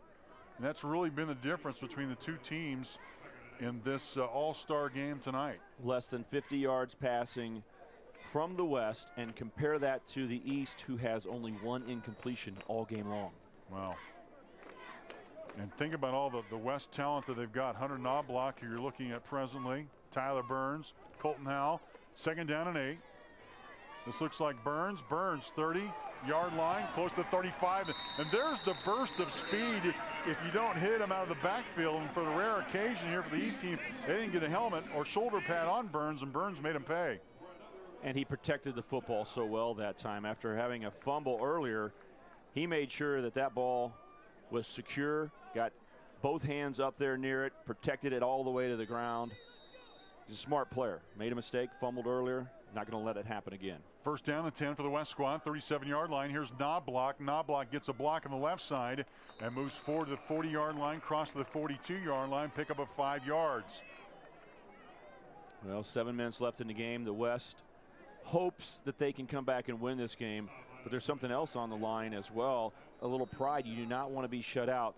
The West side has only been shut out one time in the history of the Shrine Bowl. The first 41 games. Oh my goodness! There was only one time when the West did not score a point. 1978. The East dominated 34 to zero. Well, Harry Hester's East team has a chance to make a little history and only winning in Hays in the heart of western Kansas. And what a stop, another East stop. making the play. Taylor Watkins out of Columbus. His helmet came flying off. He's going to have to leave for a play, but no gain on the play on third down for the West team. We also need to pick our MVPs for the end of the ball game. He said, I didn't lose my helmet on this one. I had it pulled off. Let's see what happened. I'm trying to find 25 there. Yeah, oh, yeah. 20, the running 22 back. was uh, Chaden Carter. Kind of pulled it off his Caught him back. underneath his elbow there. Pulled it off. Because he wants to go back in the ball game. He knows if you lose your helmet, you got to sit out. Third down and seven for the West team. Knobloch on the rollout. Under pressure. Switches direction. Comes to the near side. Still under pressure. And he's going to be brought down finally by the East squad's Ben Ewing. The defensive lineman of St. Thomas Aquinas, the first team all-state selection, who had 126 tackles for St. Thomas Aquinas, brings down a really a team pursuit from the East squad. He thought about wrestling in college at a Division One school, but he's found out that he loved football too much.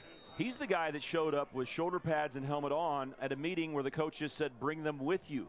There was a Shriner who came to speak to the team, and again, he had his full uniform on. He's all about football, and he's going to play it at Fort Hays State next year. Nice punt. West is going to down this one at about the 25 yard line. 24, still rolling down to the 23 yard line. Well, Can I say next year? That that really isn't right when it's only uh, like two weeks away. it is two weeks away. It does seem like another season. It's either the first game of the next season. I kind of think of these kids the- as high school players.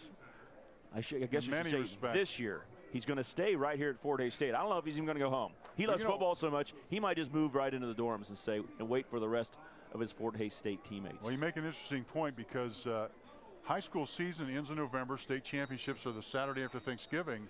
There's been a lot of occasions where we they, they list their weight at the end of their high school senior season, and then we're playing several months later. We had several players who show up because they've been lifting. They're, they're 20 pounds heavier than they were in their last game of their senior season. There's a lot of development between November and this game in July. East team, Tristan Spear, the quarterback, now in for the East. Tony Barksdale Jr. is behind him, and Spear on the option takes it out. He's going to be wrapped up, brought down.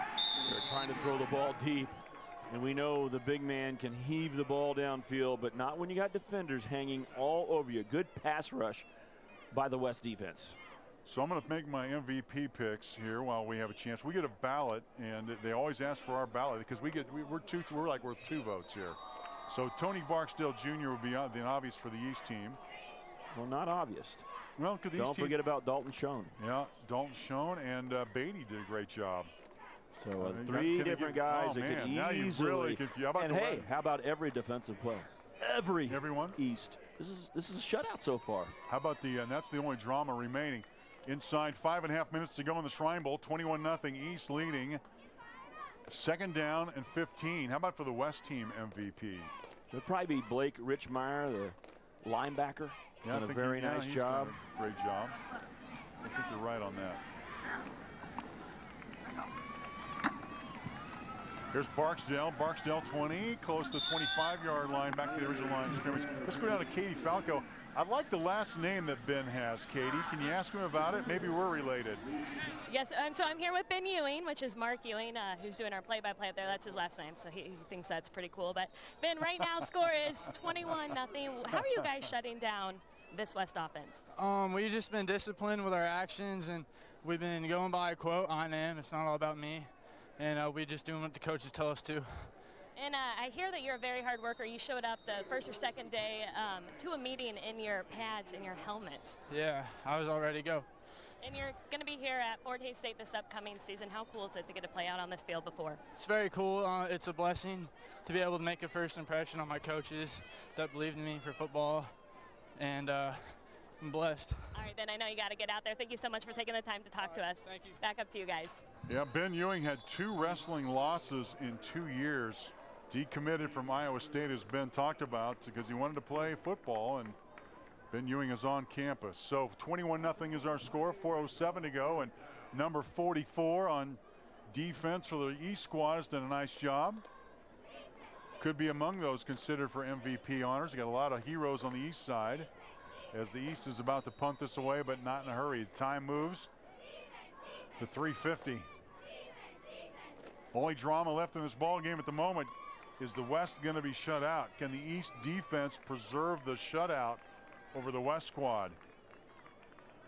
to be a historic win here. Again, the series has been dominated in the decade and in recent years by the West team. Return coming. 50 yard line, nice block, 40, 30 yard line, 25, 20, 10, inside the 10 to the 8 yard line. And what a return by Javon Burse. Burse got a block back at the 45 yard line and big time drama as the West team now has a real opportunity to score the short field situation here. Great job by Javon Burse. The West still searching for a big play, searching for the first score, and the punt return unit gives them a chance. Scott Mosier believes in special teams, works on it a lot, even in an all-star game setting. And what a killer block to set up that return. Guys being knocked all the way to the ground legally. Gives the West the football down at the six. First down and goal at the six-yard line. And here's Colton Howell. Howell trying to make a move. He's been tripped up right down to the 10-yard line. And look who's there for the East team. Isaiah Macklin out of Shawnee Mission West, a cornerback, wide receiver, kick and punt returner for his high school team, makes the stop and uh, not scoring yet. Clock's moving. Inside three minutes to go. I think the East knows they're trying to get that, keep that zero on the scoreboard. They're going to give it everything they've got here. Meanwhile, Colton Howell and his West teammates would love to find the end zone if they can do it right here. This time, empty house backfield. There's a fullback up front. Here's Colton Howell. Howell back to pass, looking for a fade route. Now keeps it. Looks to the far side. Now the near side has a receiver ball knocked away and complete. He was looking for Tyler Burns in the end zone. Defensively, there was Isaiah Macklin again. Macklin who made a nice tackle on the last play, knocks that ball away and makes a nice defensive play. Isaiah Macklin has not decided yet if he's going to play football in the junior college level or go play to give up football, go to school, and go back to a place he lived for six months. Hawaii. Oh, is that right? Huh. Ah, do I want to go back to choice. Hawaii or do I want to play football? Now, that is a hard decision. Ah. Knocking that football away may make him think, I like football.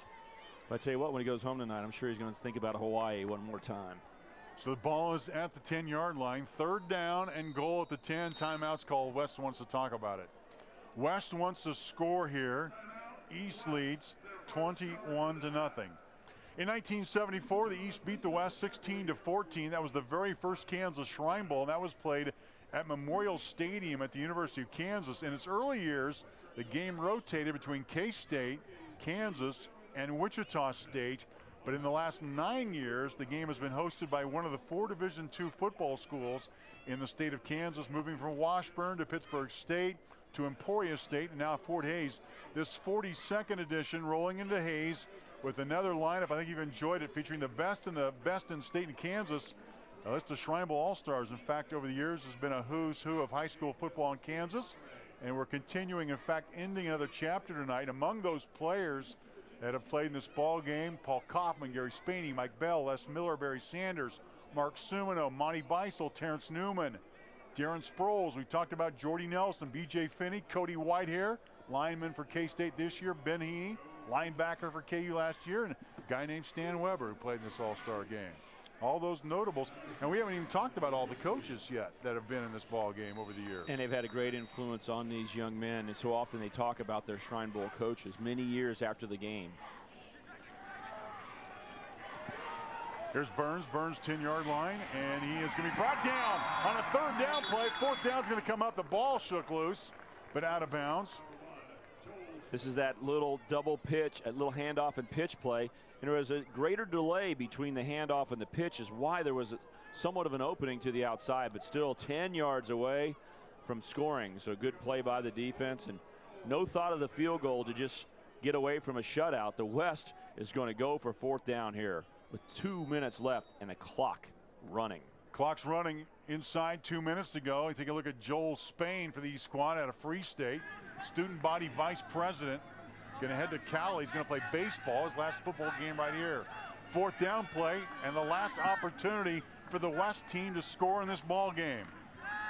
Howell back to pass, looking to the end zone. He's got a receiver, and it's going to be incomplete. Incomplete, and it looks like the East team is secured a shutout. It was intended in the end zone for Hunter Knobloch. Well defended by the East team in the end zone. And the East squad already starting to celebrate. That's defensive coaches over there. They wanted the shutout. And the West had the football at the seven yard line following the return by Javon Burse. And the East team manages to keep the West out of the end zone. And they got two things here that they can do. They can get a shutout against the West for only the second time in the history of the Shrine Bowl. You go all the way back to the fifth game ever played in the Shrine Bowl when the East shut out the West 34 to nothing. That 34 point win margin by the East is the largest separation they've ever had in the history of the game. This would be the second largest victory by the East in the 42 years. So the East with the football, chance to run out the clock. Meanwhile, this has a very been a very pro-West crowd, of course, because we're in Hays. They they know who their West guys are. And meanwhile, the East sideline. Interesting that the way that the field sets up, East is to the east and the West is to the west. West team dressed on the west side. Same for the East team, and and uh, the state understands the pride of high school football in their respective area of the state.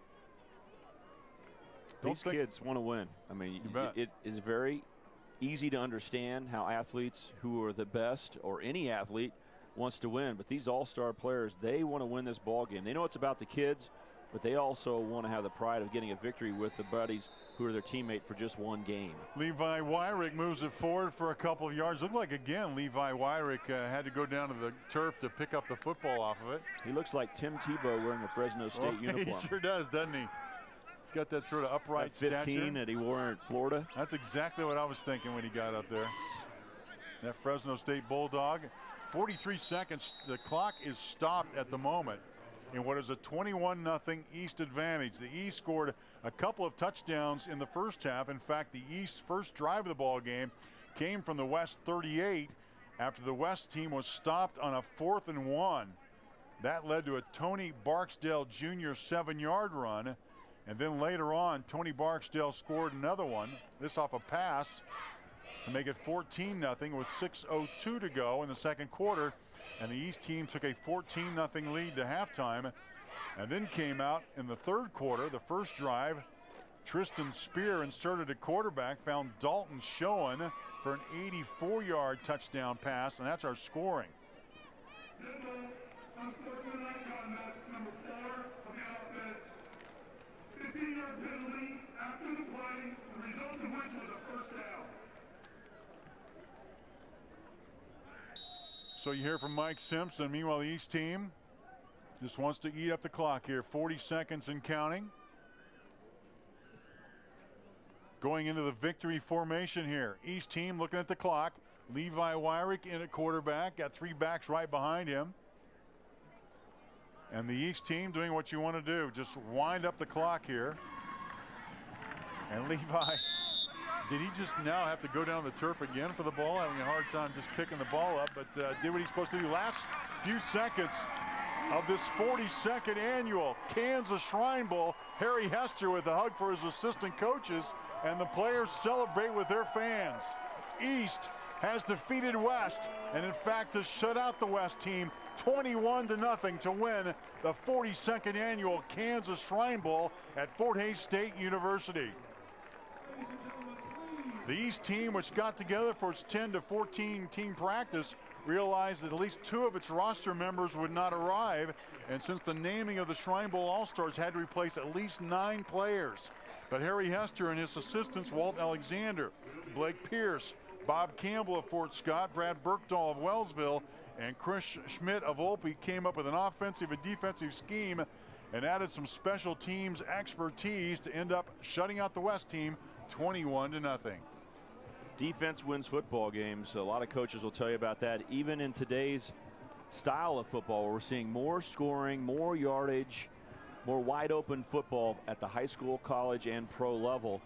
Every coach will still say, if we play great defense, we are going to win ball games. And the East came out tonight with a front seven that was very physical. Then three more players to make 10 came up to the line of scrimmage against a single wing and said, we're so big and strong and disciplined. We're all going to hold our area, believe in each other, and play team defense, and you're not going to be able to crack through us. And that's the way it worked all night long. The East defense holds the West to a total of seven first downs and 136 Wow. yards. The East defense set the tone. There's no way you're going to lose if you don't allow the opponent to score. They all could easily be MVP candidates. East team threw for 241 yards. We're 10 for 12 through the air with Beatty and Tristan Spear throwing the football for the East team. In fact, uh, Beatty threw for 84 yards. Spear two for two for 89 yards. And that receiving corps was Schoen, Freeman, Barksdale, Osborne. Schoen made five catches, had 169 yards and one touchdown. He had an 84 yarder and in a long reception of over 60 yards as well in the ball game. Any coach in the country would take 10 of 12 passing. So we talked about the East defense and then the East passing game uh, makes a big difference as well. Harry Hester's passing game so effective, averaging 24 yards per reception. So the most valuable player awards are being announced. And I think Katie, Katie is with the East MVP. Katie, go ahead and take it away. All right, Tony, second time in the history of the Kansas Shrine Bowl that you guys shut out the West team. What does that mean to you? Oh man, it means a lot. You know, coming in this game, we plan to go 100%, and I feel like my team gave 100%. You know. So what do you think sets this team apart? It seems like you guys really rallied together and you knew what this was all about. coming in, we talked about family, and you know, we came in as 34 individuals. Coach said it's a family now. You know, we come from different schools, but we don't look at it like that. I feel like I've been playing with these guys all year. What has Coach Hester meant to you over the past week? Oh man, Coach Hester, you know, he's been unbelievable. You know, working us, you know, just believing in us, and I thank him for that. And you are heading to Coffeyville next Yes, year. How excited are you? And how good did it feel to wear your high school helmet one last time? Oh man, you know, Coach Swift, I love him. He's a good guy, and I love playing on Shawnee Heights. So, in Coffeyville, I'm excited. I can't wait. All right, Tony, thank you so much and congratulations on the big win tonight. Tony Barksdale Jr. with an outstanding game, 19 carries, 66 yards. And he also threw that halfback pass through the air that caught the West unaware. And he's going to play some football next year. Do not be surprised to hear from him down the line. Word about Tony Barksdale Jr. and perhaps your thought on him. A, a back who can do it all when you say that he can throw the football. He caught the screen pass, broke a couple tackles, went all the way for 53 yard touchdown, but then just the physical tone of running the ball between the tackles and pounding on the defense was the way that the East wanted to set the tone behind that big offensive line. He did it, uh, had great ball protection, didn't turn over the football, and was involved in catching the football for a touchdown, throwing a long pass, and then running the ball. Very good performance by a nice back, Tony Barksdale Jr. Meanwhile, the MVP looks like Blake Richmeyer of Holcomb, and he's with Arcady Falco. All right, Blake, a tough loss, but you know, at the end of the day, this was not about winning or losing. It was about all the patients of Shriners Hospital. How amazing of an experience has this past week been for you? It was amazing. I mean, we came out, we realized how really fortunate and blessed we are. Spending time with these kids was just, it was huge for us. It was huge to spend time with them, and it was an experience that I'll, I'll never forget. It was something I'll remember for the rest of my life. And how has Coach Mosier helped you guys, you know, realize that this is bigger than the game of football? He is an amazing coach, but above that, he's an amazing man. He uh, coaches up in the game of football and the game of life, and it's something that I'll never forget. Just spending time with him, the other coaches, and the other players. And you're heading to Butler Community College next year. What are your expectations for yourself? I'm expecting to work hard and see what I can do after that. Um, I'm really excited to be with Coach Schaffner and the Butler Butler squad. They've always had a great tr- tr- tradition of winning. I can't wait to be up there. All right, Blake, thank you so much. We appreciate your time. Thank you. And guys, back up to you. Thank you, Katie, and uh, a lesson in life and a real demonstration in athletics. The guys getting their picture taken. East champs have won the 42nd Kansas Shrine Bowl All-Star Game. Stan Weber and I will be back to wrap this thing up from Hays in just a moment. So, what is love? Love is being independent. Love is dancing. At Shriners Hospital for Children, love is a new smile. At Shriners Hospitals for Children, love is caring for a child regardless of the family's ability to pay. If you know a child that needs help, please call or go online today. Spring brings new beginnings and new opportunities. Now you can get both at Briggs Buick GMC Manhattan. Start your day ahead in a 2015 Buick Encore for only 199 a month. Stay ahead with a 4G Wi-Fi hotspot, and Encore is an IIHS top safety pick. Or drive a 2015 GMC Terrain with a spring opportunity price of only 199 a month. Spring is here, and so are the savings at Briggs Buick GMC Manhattan. And for more specials, visit briggsauto.com backslash specials. My Contour knows I'm into all kinds of TV, and no matter what I'm into right now, its enlightened app puts it right here. And here. It can even record up to six shows at once. So we all get what we want, like sci-fi, sci-fi, sci-fi, sci-fi. romantic comedies. Anyone? That's why Contour is TV just for me. For the many sides of you, there's Contour. The dictionary defines performance as the ability to perform. Here at Performance Tire and Wheel, we make sure that your vehicle is performing at its best. We're a family owned and operated business and the largest Cooper dealer in Northeast Kansas. For a limited time only, get up to a $70 Visa gift card when you buy a set of new qualifying Cooper tires, built not just for the way you drive, but the way you live. For routine maintenance, auto repairs, or a new set of Cooper tires, visit us at either of our two Topeka locations. East has won this Kansas Shrine Bowl in decisive fashion of the West team by a score of 21 to nothing. And Stan, you mentioned East defense really set the table, but they had it in all three ways: offense, defense, and special teams. Yeah, they kept saying how they were a team, and Harry Hester sold that to this football team, and they did a nice job all night long, passing the ball with efficiency, powering the ball. The offensive line was a big factor, avoided turnovers, avoided penalties, and the defense was just rock solid all game long. So congratulations to the East. Uh, a nice win, 21 0. You don't see shutouts in football very often. Only the second time the East has done it in the history of this game. And they did it winning 21 0 tonight. Stan, I hope you mark your calendar for July 30th, 2016. The 43rd annual Kansas Shrine Bowl game will happen at Emporia State's Welch Stadium. Enjoy working with you once again, Stan. Well, I loved working with you as well. And I, I don't know if there's anyone who loves football more than me, but my favorite shots of the whole night were every time we see one of those Shriner kids. Yep. We saw all kinds of specials from the pregame, halftime, and other times you hear from them, you see them.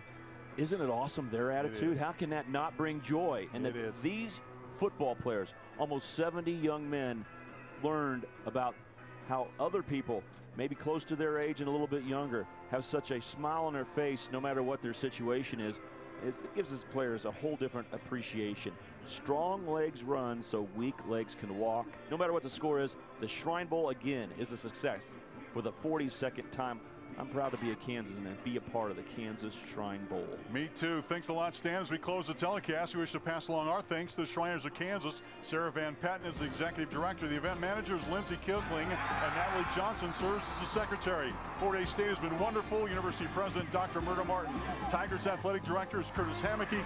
SID is Ryan Prickett. We also extend our thanks to the city of Hays for their hospitality.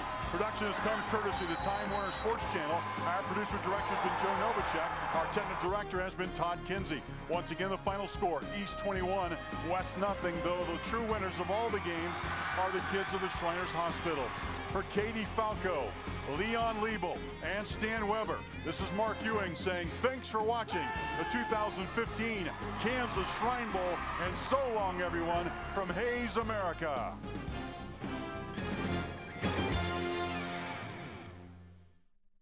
So, what is love? Love is being independent. Love is dancing. At Shriners Hospital for Children, love is a new smile. At Shriners Hospitals for Children, love is caring for a child regardless of the family's ability to pay. If you know a child that needs help, please call or go online today.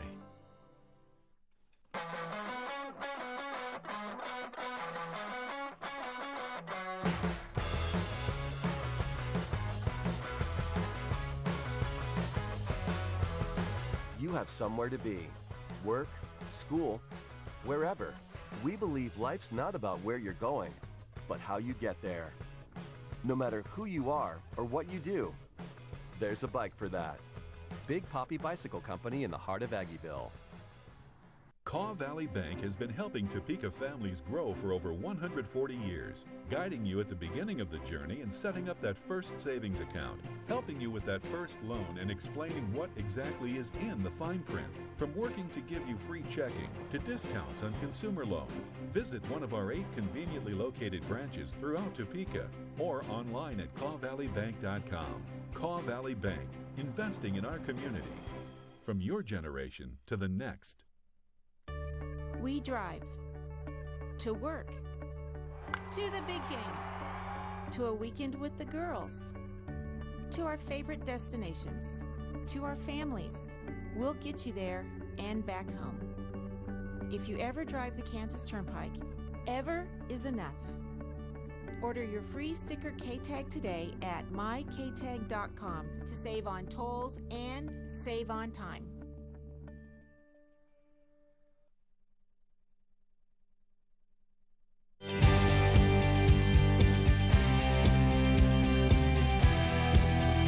Your home